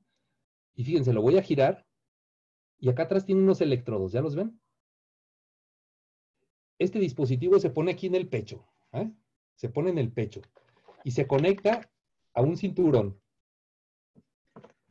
Este cinturón tiene en la punta en la, en la, punta, a ver si, no sé si lo logren ver, un, enchufe. ¿eh? Entonces, esto se enchufa aquí en el, en, el, en el dispositivo. Entonces, el paciente se lo coloca y se lo abrocha, se lo abrocha a través de la cinta alrededor del pecho y se lo lleva y lo tiene todo el día ahí. Y este dispositivo, fíjate, está monitoreando el ritmo cardíaco y a través del celular en vivo, yo puedo desde mi casa estar monitoreando al paciente. Yo estoy viendo el ritmo cardíaco en vivo. O sea, no cuando el paciente lo registra. Eh, eh, yo me conecto y sé dónde, hasta sé dónde está y qué está haciendo y con quién está y si está poniendo el cuerno, todo lo puedo saber. Entonces le pongo el dispositivo y, tengo monitorizado al paciente en vivo. Entonces el paciente me dice, doctor, estoy teniendo una taquicardia. A ver, déjame abrir. Ah, ah sí, mire, ya lo estoy viendo. No es arritmia. No se apure. Lo que pasa es que se aceleró su corazón, es ritmo sinusal, no se apure. O sí es arritmia. Y así como este dispositivo, hay para la presión arterial, para la saturación, para la glucosa, en vivo. Entonces el paciente está en su casa y hay una báscula que se sube y manda la información por vía, por este mismo sistema, y la báscula está conectada al teléfono. Entonces yo puedo monitorizar a un paciente con falla cardíaca estando en su casa y saber cómo se comporta el peso día a día, cómo se comporta la presión, cómo se comporta el ritmo, y lo puedo monitorizar a distancia e ir ajustando medicamentos sin necesidad de ver al paciente estos sistemas de telemetría, de telemedicina, nos han permitido desarrollar pues, un montón de cosas este, sofisticadas. Por eso me atrevo a decirles que si hay un área que está evolucionando es la electrofisiología y no por presunción, sino porque es real. O sea, ustedes ven todos estos desarrollos y dices, wow. Mira, este es un, un desfibrilador como el que les mostré. Fíjate, este es un marcapasos normalito. Este es un marcapasos normal. Aquí en la parte superior se conectan dos cables. Esos cables, esos electrodos han cambiado muchísimo. Son electrodos muy finos y muy elásticos. Miren cómo son suavecitos, ¿eh? Entonces no lastiman. Y en la punta tiene un tornillo, un pequeño tornillito que yo puedo extraer, meter o sacar para fijarlo en el endocardio y no se zafe. Es un, es un electrodo que se conecta al generador. Este es un marcapasos, pero fíjate, este es un desfibrilador, ve el tamaño. ¿Por qué? Porque tiene una pila enorme. Es un desfibrilador. Esto es un desfibrilador. Es como cuando un paciente cae en paro y hace fibrilación ventricular y lo chocas con, con las paletas. Pues esto, en lugar de ser externo, lo hace adentro, a través de un electrodo especial que descarga 30, 40 joules, hasta 40 joules. Adentro, el paciente se muere, literalmente se muerte súbita, el desfibrilador diagnostica, detecta y descarga, da una descarga de 40 joules y el paciente sobrevive. Es decir, abortas una muerte súbita. Entonces, esto ha salvado vidas sin duda alguna. Este, y son cosas nuevas, o sea, son cosas, y además complejas, porque programar estos dispositivos es, a través de una computadora especial, que hay que, un montón de parámetros que hay que estar programando, etcétera. Entonces, lo, que quiero hacerles ver, doctores, es cómo estas, la tecnología les va a tocar vivirla a ustedes, más que a mí, ¿no? Ya estamos viendo estos avances sin duda alguna, y los tenemos en la práctica clínica, en uso cotidiano, ¿no? Todo esto que les estoy mostrando. Imagínate en 10 años, imagínate en 20 años, ¿no? O sea, esto va a volar, esto va a volar y les va a tocar en, otras áreas de la medicina aparte de, mi área, ¿no? O sea, van a poder monitorizar pacientes a lo mejor oncológicos para ver si, si la quimioterapia está causando problemas hematológicos y desde tu casa monitorizar pacientes y, wow, eso, eso, va, eso va a existir, ¿eh? Eso, eso ya no está lejos, eso ya no está lejos. Y, y, la electrofisiología es un ejemplo práctico o real de que la tecnología tiene una aplicación directa en medicina. Es el área donde la tecnología aplica más fácil. Aquí, esto es dependiente de tecnología. Por eso me atreví a poner este tema para compartir, más que enseñarles algo, compartirles eh, estos avances y, que vean su futuro reflejado ahí en estos desarrollos, en estas formas distintas de ver, en que vean además que el electro, por ejemplo, que es una herramienta viejísima, tiene vigencia y, la interpretamos diferente y es terriblemente compleja. Cada vez hace más difícil interpretar un electro por todos estos criterios finos que les acabo de mostrar. Este, la verdad es que, que el que no se maraville con esto está perdido, ¿no? Bueno, doctores, yo creo que tenemos tiempo para dudas, este, algunos minutos, o no sé qué opinen, este, Brenda, este, si hay tiempo Para, para dudas, Ale. Sí, sí, sí. Ah, ¿Alguno tiene alguna duda? Mm, por favor, no se amontone. Bueno, en lo que los demás piensan su duda, yo sí tengo una, doctor. Eh, ¿Cuál cree usted que es la principal limitante en su campo? O sea, la economía del paciente o que pues estamos en México y no es un país tan avanzado. ¿Cuál cree usted que sea la principal limitante? O que no saben tomar el electro, no sé. Mira, aquí hay dos cosas. Una, la, primera es que es un área desconocida. Muchos no saben que existe la electrofisiología. Este, y muchos pacientes no saben que existe un electrofisiólogo, un especialista en esto, porque no conoce todo esto. Y está avanzando tan rápido que, la gente no, no va al hilo, pues. Y, muchos, muchos médicos no saben de esto. No, no saben que existe esta área. Entonces, primero es el desconocimiento, sin duda. Pero fíjate, otro asunto, creo yo, es que el mundo se ha convertido en, un, Todo se quiere convertir en mercancía. Todo es un negocio. Todo es negocio. Y al ser todo un negocio, cualquier desarrollo tecnológico tiene costos y altos costos. Siempre hay gente que quiere hacer negocio con estas cosas. Y por tanto, eso encarece terriblemente el acceso a estos dispositivos. Y ese ha sido uno de los limitantes mayores en los países de tercer mundo como México. Pero pues nosotros somos bravos, somos bravísimos. Por ejemplo, un paciente que tiene marcapasos y se muere, fallece, le sacas el generador y mucho tiempo se estuvo cuestionando eso, de que se lo pongas a otro paciente. Lo esterilizas, lo lavas y se lo pones a otro paciente. Dices, ¿cómo vas a hacer eso? Oye, pero si la batería está llena, está completa, ¿por qué no? Entonces, fíjate, un día, el primer tipo fue un latinoamericano, ¿eh? en un congreso internacional de electrofisiología presentó un trabajo de que era seguro reimplantar dispositivos o rescatados de pacientes que habían fallecido. Pero eran cientos de pacientes que él, que este, que reportaba. Pero la primera vez que se dijo eso en público, todo el mundo lo hacía, pero nadie decía. ¿eh? Nadie decía que lo hacía. Pero si, si el paciente te está muriendo y no tienes para pagar el dispositivo, a mí no me importa que sea resterilizado, ¿verdad? Y eso lo hacíamos todos, pero nadie lo decía porque está prohibido. Cuando este tipo se para en un congreso internacional, no, bueno, en la industria se le echó encima. ¿Cómo es posible? Eso es antiético y bla, bla, bla. O sea, esas son las limitantes, que, esto se convierte en un negocio y el negocio está por encima del interés de los, por los pacientes. Ese, eso, el mundo comercial, el mundo interesado por el, por, la, por el negocio, supera el interés por los pacientes. Y cuando eso ocurre, empiezan los líos, empiezan los conflictos, por tanto, la misión que tengo, al menos yo, no es dar a conocer nada más la electrofisiología, sino hacer accesible lo inaccesible. Es decir, un paciente sin recursos pueda tener un desfibrilador.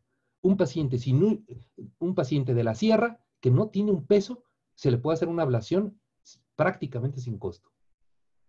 Eso es mi papel, o esa debe ser nuestra función, hacer accesible lo inaccesible lo, económicamente inaccesible. Yo creo que esa es la misión. Entonces, eh, y luchar contra esta corriente, ¿no? De negocios, ¿no? Eh, obviamente te ganas los enemigos de la industria, eso sí. Si quieres hacer amigos en la industria, este, les tienes que dar a ganar, si no, no. Y te van a invitar a los congresos y a todos lados. Pero si, lo que te interesa realmente es el paciente, te vas a hacer de enemigos, ¿verdad? Y los primeros enemigos son la industria que, que, que, pues la verdad es que encarece terriblemente muchas cosas de forma desproporcionada, ¿no? Pero hay que presionar y, siempre se consiguen cosas. Te voy a contar, este, hemos hecho ablaciones de pacientes del Hospital General que han pagado 7 mil pesos, por ejemplo, ¿no? Este, para una ablación, una ablación que normalmente costaría 250 mil pesos, ¿no? O sea, inaccesible para un paciente de la sierra, ¿no? O un desfibrilador que paga 20 mil pesos porque se le ponga un desfibrilador. Este, o sea, digo, hay maneras, pues, de, conseguir donaciones, etcétera, ¿no? Ok. Gracias. ¿Alguna otra pregunta, doctores? Hay una en el chat, es un poco como explicación sobre lo que nos acaba de contar de Diego Antonio. ¿En la exclusión de la orejuela no tiene alteraciones en las presiones cardíacas de alguna forma? Fíjate que, que eso hay que pensarlo bien. Mira, eh, la orejuela contribuye muy poco a la función de la aurícula izquierda. Muy poco. Entonces, la, contracción de la aurícula no la estás afectando, estás excluyendo la orejuela. Entonces, la función de la aurícula en realidad está intacta, casi intacta. Entonces, no hay, eh, prácticamente las consecuencias son mínimas de excluir la orejuela. El problema no es ese, el problema es que, otra vez, lo que comentaba Ale, se está abusando de una, cuando hay tecnología nueva, todo el mundo la quiere usar indiscriminadamente y eso también hay que tener mucho cuidado. Entonces, se, hacen cierres de orejuela en pacientes que no tienen clara indicación. Este, y, eso es algo que tienen que aprender ustedes. Si tú pones el interés de la industria por encima de los pacientes, se hace un caos. Pero si también pones tus intereses personales por encima del paciente, estamos fritos. Y entonces, eh, por, querer ganar dinero, hacer estos procedimientos, está, eh, lo que lleva es al caos, o sea, la desgracia. Entonces, está bien que haya tecnología, pero hay que saberlo usar en cada paciente y a quién le va a ser útil y a quién no. Y ser muy franco y honesto en ese sentido. Esa es la clave. Esa es la clave. El problema no es hacer o no hacer algo sino hacerlo correctamente en la persona correcta en el momento correcto. Ese es el punto. Y, muchas veces no necesitas tecnología para corregir problemas, para resolver e impactar en un paciente. No necesitas dinero a veces para impactar. A veces no es un problema económico, sino de educación. Entonces, el cierre de orejuela se abusa mucho de él, terriblemente. Y, lo quiero decir así con todas sus letras, la fibrilación auricular ha entrado en dominio del electrofisiólogo porque es una arritmia compleja, pero todo el mundo la quiere tratar. Y entonces, nosotros no estamos tan convencidos de que todos los pacientes vaya, sean candidatos a cierre de orejuela. Y, y, la industria se acercó a nosotros, a los electrofisiólogos, para que pusiéramos cierre de orejuela. Y la mayoría de los electrofisiólogos es que casi no hay pacientes para eso. Son muy contados los pacientes que requieren ese dispositivo. Y entonces, ¿qué hizo la industria? apostarle a los no electrofisiólogos. Y entonces convenció a un montón de médicos no electrofisiólogos de que esta tecnología funciona. Y entonces se implantan a lo loco, sin ninguna discriminación, ¿no? O con discriminaciones mínimas. Al menor pretexto lo ponen. Y eso creo que es un error. Eh, eh, pero eso es una presión de la industria otra vez. O sea, con tal de vender el dispositivo, convences al que lo ponga, al que quiera ponerlo. Y si alguien se resiste a eso, lo brincas. Y punto. ¿No? Entonces, e, ese es un, problema. Pero, pero cuando está bien indicado el cierre de orejuela es muy efectivo y nos saca de problemones. ¿eh? Pacientes que tienen anticoagulación y tienen hemorragias, hemorragias y no toleran los anticoagulantes.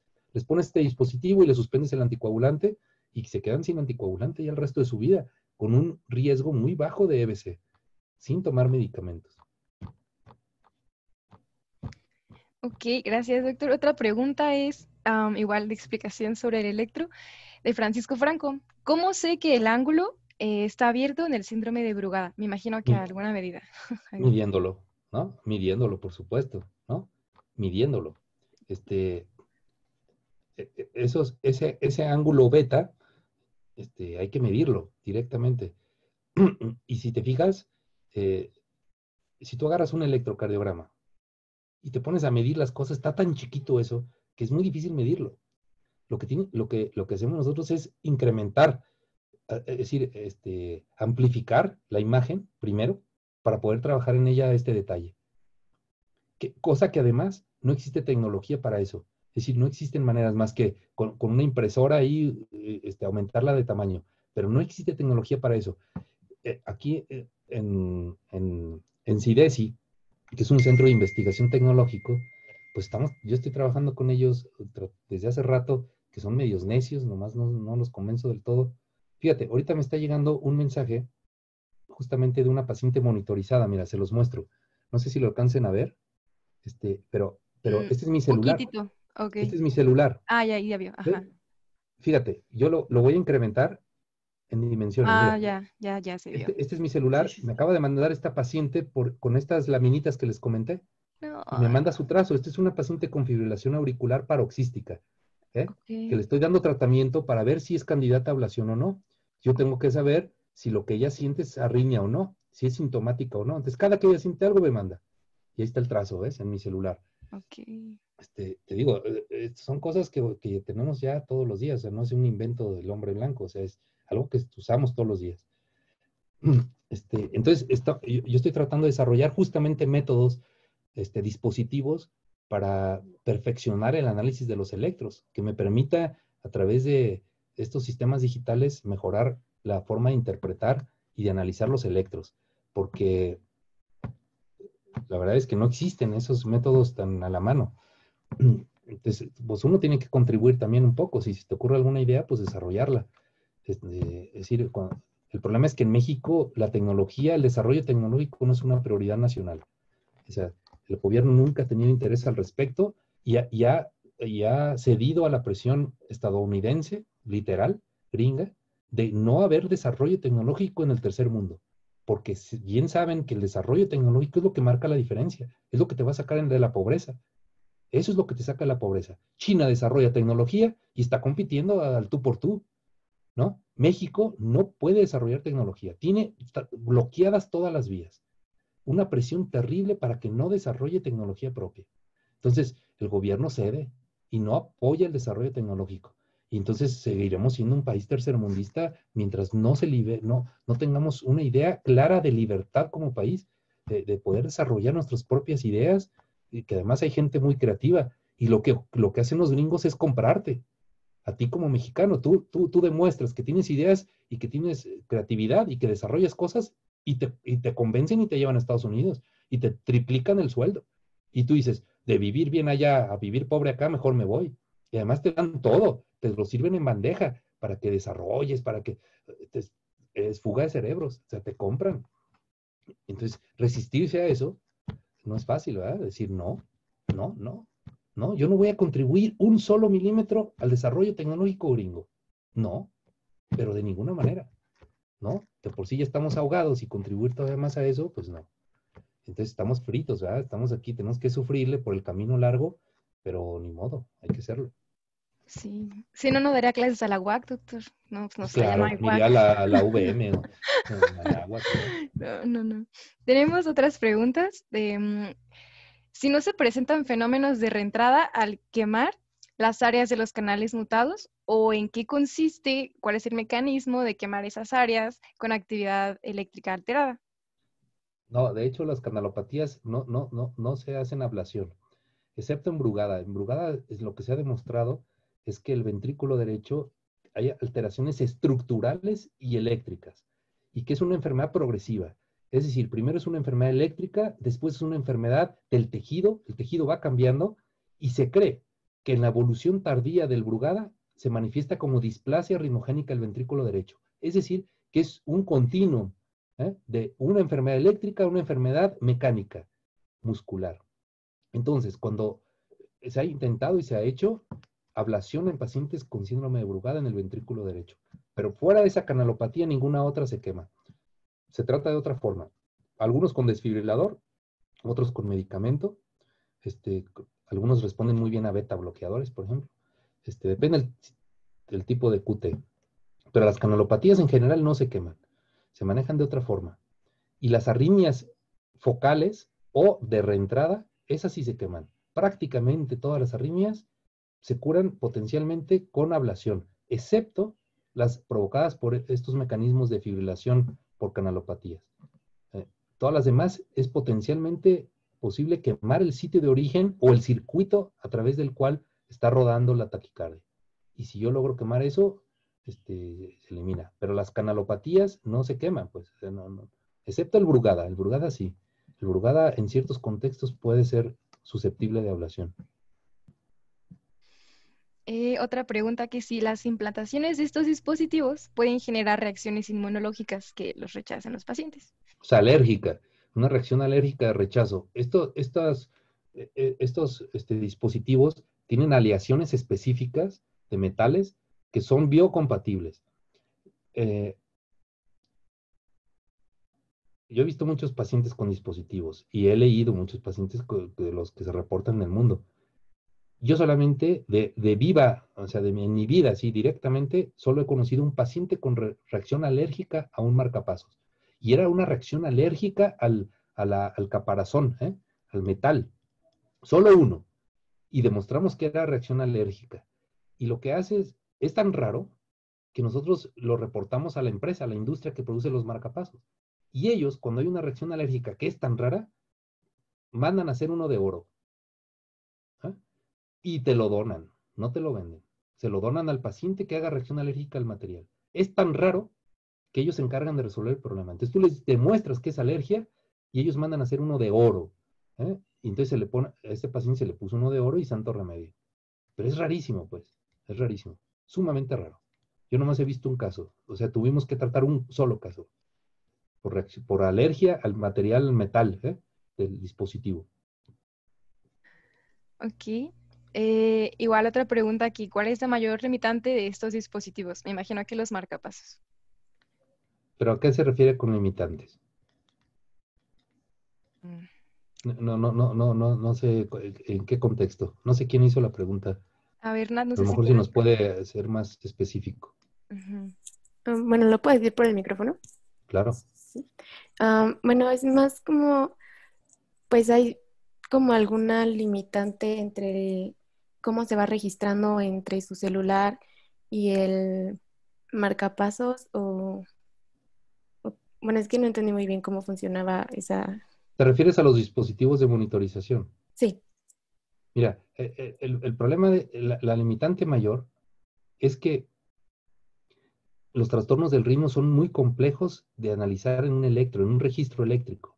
Entonces se ha hecho un esfuerzo terrible, terrible, por hacer automático el diagnóstico de arritmias. Por ejemplo, que tú implantes un dispositivo y que te haga el diagnóstico con certeza de una arritmia, ¿no? Y que, detecte, esto es fibrilación auricular y haga el diagnóstico automático el aparato. Eso ha sido terrible. No tienes idea de cuántos algoritmos se han intentado implementar y hay matemáticos y ingenieros y un montón de gente involucrada para desarrollar un modelo computacional automático que diagnostique una arritmia y se equivoca terriblemente. Seguimos dependiendo del hombre para que corrobore lo que el aparato detecta como algo anormal. Es decir, no son precisos nada de eso. E, e, es decir, el hombre sigue siendo indispensable y eso es bueno porque lo que nos demuestra es que la tecnología por sí misma no es buena, sino es buena siempre y cuando esté en las manos correctas. Eso, eso es lo que demuestra esto. Esa es la limitante, si se quiere ver como limitante, o más bien como una característica esencial de la tecnología. La tecnología no es buena si no está en buenas manos, si no está en las manos de alguien que sabe interpretar y poner contexto a la situación. Es decir, la tecnología no va a reemplazar al ser humano, no va a reemplazar al médico. No lo va a hacer, no lo va a hacer. Hay, un, este, hay un libro muy bueno sobre, eh, los, sobre el futuro del trabajo. y hay una lista de trabajos que van a desaparecer en poco tiempo. Es decir, imagínate que tú eres un obrero. Como obrero es fácilmente reemplazable. Ponen una máquina, automatizan y te corren, ¿no? Este, empieza a pensar, yo alguna vez me puse a pensar, a ver, mi trabajo es reemplazable por una máquina, una máquina me puede reemplazar a mí. Digo, bueno, a ver, vamos a ver. Por ejemplo, un robot que ponga un marcapaso sin que yo intervenga, que lo haga automático, que ponga un desfibrilador, que queme una arritmia, etcétera, ¿no? Y te pones a pensar y dices, no, no hay manera, no hay manera, porque esto es tan complejo que es muy difícil que una máquina tenga todo, tenga, se pueda adelantar y pueda improvisar, etcétera. Es muy complicado. Pero hay muchos trabajos que sí pueden ser reemplazables. A veces hasta el de un médico general, que se limita a tomar la presión y si está alta la baja, si está baja la sube, e, etcétera. O sea, que se dedica a, a tratar variables. No, pues eso, eso una computadora lo puede hacer mejor, ¿no? Es decir, tu formación, entre más sólida sea, te haces más irreemplazable. No hay máquina que te reemplace. Yo creo que la limitante, eh, si se quiere ver como limitante, para mí es más bien una esencia de la tecnología, es que depende de manos de quién está para sacarle provecho. No es una limitante en sí de la tecnología, sino de la persona que la usa, cómo la usas, en quién la usas y cómo la, cómo la interpretas, etc. Ese yo creo que, que, es una característica de la tecnología. La, tecnología no nos reemplaza, nos apoya. Es un apoyo. Doctor, una pregunta de acuerdo a lo que acaba de decir. Por ejemplo, en la colocación de un marcapasos, pues sí es difícil que un robot pueda improvisar. Pero en cuanto al registro y a la lectura del electro, o sea, si a un robot, por ejemplo, se le emiten muchísimos este, ejemplos de electros normales y alterados, o sea, ¿no cree que eso sí lo pueda reemplazar un robot? Es que ya se ha hecho, es que eso ya se ha hecho. Eso que estás diciendo ya se ha hecho y, no se ha logrado. No se ha logrado. Eh, mira, el único dispositivo que, tiene una capacidad altísima de diagnóstico es el desfibrilador. Pero otra vez, el desfibrilador necesita programarse para cada paciente. Y eso lo decido yo, en el contexto de cada paciente. Entonces yo programo el dispositivo para que le funcione a ese paciente. Si lo programo mal, funciona mal. Es decir, el aparato está para obedecerme. El problema, eh, eh, el, asunto yo creo va a cambiar cuando, cuando aparezca la, cuando tenga una aplicación más clara la inteligencia artificial, cuando los dispositivos aprendan lo que ustedes no aprenden, que es aprender a aprender. Cuando un dispositivo tiene la capacidad de aprender, te va a superar. Te va a superar. Eso no lo, no, eso, eso, e, en eso está el desarrollo tecnológico actual, en enseñarle a las máquinas a aprender. Cuando lo logren, cuando logren que una máquina se supere por sí misma, adquirirá autonomía e independencia. ¿eh? Y, tendrá más capacidad que tú para leer 20.000 libros al mismo tiempo. ¿eh? En 10 segundos leerá 20.000 libros, cosa que a ti te lleva años, o nunca, o será imposible para ti. Y si aprende a aprender y analizar esa información, y aprende realmente, aprende a aprender y cada vez ser mejor, te va a superar. Entonces te va a superar. Eso no se ha logrado. Yo creo que no está lejos, y esa es la tirada. La tirada es de, de la tecnología al final es acabar con el hombre. La tecnología va a acabar con el hombre. O sea, si no le ponemos un límite, el futuro es que la tecnología va a acabar con el hombre. ¿Por qué? Porque el hombre tiene limitantes. Y su limitante fundamental es su cuerpo mismo. El día que sustituya su cuerpo, que ya no dependa del cuerpo, ya no hay límites. Ya no hay límites. ¿Cómo vas a viajar al universo tú? ¿Cómo vas a tolerar las inclemencias de un universo? De viajar durante años luz. No hay manera, pero sí puedes mandar una máquina. Un robot con capacidad de pensar, con inteligencia artificial y con capacidad de aprender. Pues eso sí lo puedes hacer. Y, lo puedes construir para que tolere calor, cal frío, gravedad, no gravedad. O sea, nuestro cuerpo es nuestro límite. Y la tirada es reemplazar al hombre. O sea, e, esa es la tirada. La tecnología eso va a ser. Estamos lejos de eso, pero eso va a ocurrir. Esa es la, línea, claro. Si no, si no hacemos nada como personas, si no, si no entendemos que la ciencia no lo es todo, que el desarrollo tecnológico no lo es todo, que lo que nos hace humanos no es la tecnología, lo que nos hace humanos es compartir el arte, compartir, eh, disfrutar un concierto, platicar en un café, este, ver, el cielo, sentir el clima, este, el aire, el frío, el, miedo, la angustia, todo eso. Eso nos hace humanos. Lo otro no es humano. Lo otro es artificioso. Y, el día que entendamos eso, eh, entenderemos que el desarrollo tecnológico no, no, es tan importante. Es importante, pero, pero no es, tan esencial. No es tan esencial. Y hay gente mucho más humana de hace, de hace 200 años, de hace 500 años, que ahora mucho más humana. Es decir, mucho más sensible a estas cosas.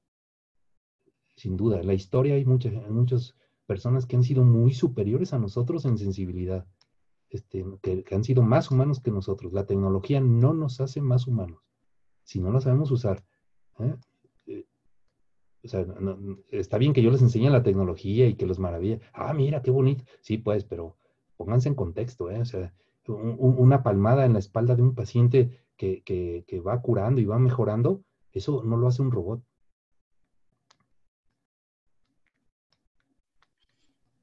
Muy bien. ¿Hay alguna otra duda, chicos? Si no, si no hay, eh, hay como una pequeña duda clínica de alguien que mandó un mensaje que en la práctica del app de Fisio 2 este, después de hacer la actividad física, este, sintió dos extrasístoles, pero el doctor del laboratorio de fisio le dijo que no se preocupara, pero con todo lo que había ahorita ya se preocupó, que se debiera al cardiólogo. Bueno, la, todas estas cosas eh, cada vez se entienden mejor, cada vez se conocen mejor y las arritmias en general, hay muchas formas de clasificarlas y una de ellas es arritmias asociadas al esfuerzo, al ejercicio y arritmias no asociadas al ejercicio. Y es un abordaje diferente. Hay arritmias inducidas por ejercicio y arritmias no inducidas por ejercicio, que son en reposo, etc. Entonces, el contexto clínico es lo que permite distinguir. Otra vez, el punto clave es lo que yo no veo, no lo puedo tratar. Por eso, esto, esto ejemplifica estos dispositivos, la necesidad de estos dispositivos, que yo registre qué es. Es decir, yo, a, mí, a, mí, a mí me puedes decir, oye, sentí una extrasístole. Si yo no la veo en un registro eléctrico, yo no sé que eso es un extrasístole. Es un extrasístole en el momento en que tiene un registro eléctrico. Entonces, obviamente lo primero es registrar y ver qué arritmia es. Y después, en ese contexto, interpretarlo, ¿no? O sea, hay 80 tipos de arritmias diferentes y cada una tiene implicaciones distintas. Entonces, sentir el corazón, sentir el corazón no significa arritmia. Sentir el latido cardíaco se llama palpitación. Es un síntoma clínico. Tener una arritmia es tener un registro eléctrico. Si no hay registro eléctrico, no existe arritmia. O sea, no, no hay manera. No hay manera. Si no hay registro eléctrico, no existe la arritmia. La arritmia se sustenta en el registro eléctrico para poderla detectar y diagnosticar. Por tanto, es importante ver qué arritmia es. Y hay muchas arritmias benignas. Y así como hay arritmias letales y fatales, ¿no? Por fortuna no son lo más común. Pero hay que ver la arritmia, o sea, no, cada arritmia es diferente. Y, y cada la misma arritmia en dos pacientes distintos se comporta distinto al grado de que es una arritmia diferente, se comporta como si fuera otra enfermedad distinta. Una fibrilación auricular en un deportista se comporta muy diferente a un paciente con falla cardíaca. La misma arritmia. Y la misma arritmia se comporta distinto después de una cirugía, de una cirugía abdominal y se presenta la arritmia. El comportamiento es distinto. Si son dos arritmias con comportamiento, la misma arritmia con comportamientos distintos, con implicaciones distintas y por tanto tratamientos distintos. Entonces, no nomás es el registro, sino el contexto. Entonces hay que, hay que analizar cada cosa, ¿no? Ver, ver el registro eléctrico de esa arritmia. Exacto. Muy, muy, bien, doctores. Espero que, que más que asustarlos, porque esa no es la idea, por supuesto, cada que sientan el corazón vayan a pensar que se van a morir. Este, es más bien que, que, que se den cuenta de lo que les espera ¿ah? a futuro. O sea, ustedes van a, van, van a aterrizar en estas cosas ustedes van a hacer, seguramente van a aplicar tecnologías que están ahorita en desarrollo apenas y, les va a tocar vivir esta parte, esta medicina de, otro nivel. Que, que, doctores, yo no, no había internet cuando yo era estudiante, para que se pongan, para que entiendan. No existía el internet. Yo me iba al DF, a las bibliotecas de, las, de los hospitales grandes, este, me, iba dos, tres veces por año y me la pasaba ahí tres, cuatro días encerrado para imprimir y fotocopiar artículos directamente en la revista. O sea, eh, y, además me traía la mochila llena de, artículos, así pesadísima ahí, para, tener aquí los, artículos, porque la facultad, su biblioteca siempre fue malísima, ¿no? No había nada. Y ahora el Internet, está, no, bueno, eh, el que no sepa aprovechar el Internet está frito. No valoras lo que tienes hasta que no lo tienes y yo no lo tuve y ahora lo tengo y digo, lo valoro. Y ustedes que siempre lo han tenido dicen, eh, el Internet. Ah, ah, ah". Siempre, como si siempre hubiera existido. Ay, siempre había, desde, que yo nací ahí está el Internet, así que eso no, a mí no me maravilla. No, bueno, el Internet te permite acceso inmediato a mil, 20 mil cosas, ¿verdad? Que pierdan el tiempo chateando es otra cosa, pero hay un montón de cosas. Este, no pueden perder el tiempo chateando, habiendo tantas cosas ahí de interés y que les va los va a transformar, los, va, los puede cambiar completamente y hacer médicos de primer mundo sin necesidad de tener una biblioteca, ¿no? Ay, no, doctor. Pues vamos a tomar la foto final. No sé si puedan prender esas cámaras. Ah, de nuevo, doctor, agradecerle porque pues, el tiempo que le dedicó a esta plática, la, lo que nos dejó no, no, fue mucho. Entonces, si ya están todos, pues voy a tomar cuatro screenshots. Entonces, sonríen. Pónganse súper tiesos. Hay gente que no va a sonreír nunca, ¿eh? Sí, no, bueno, es que... No, pues no, doctor. Ay, no. Y ahora la segunda, sonríen. Ahí está. Va la tercera. Sonrían. Fíjate que acabo, acabo de ver un video de un estudiante que se grabó así de frente y después se lo proyectó en un lo proyectó en su en un otro monitor hacia la cámara Entonces el, el- el profesor cree que está ahí, ¿no? Y el tipo Oh. se va. Se va a la discoteca y se pone ahí. ¿eh? Y parece que está ahí, así nomás quieto, ¿no? Nomás parpadea, así, no, no se mueve, ¿no? Y ahí está toda la clase, ¿no? Este, tú, te- tú ves la pantalla y ves, sabes que está ahí el tipo, ¿ah? Pero Ajá. el tipo es una proyección, ¿no? Va el tipo, ¿ah? Eh, Sí, pues No sí. me extraña que más de uno haga eso, por eso de repente los agarro en, en- en curva. A ver, fulano, dime tal cosa. Y ah, eh, obviamente si está grabado no me va a contestar nunca, ¿no? Exacto, exacto, ¿no, doctor? Bueno, somos guacales, no contestamos casi nunca, pero se hace la lucha, mínimo. Entonces, gracias de nuevo. No, Sí, nos vemos, doctores. hasta luego a todos. Gracias, doctor. Gracias. Adiós, bye. Hasta luego, doctor. Hasta luego, doctor. Gracias. Gracias, doctor. Gracias. Gracias, doctor.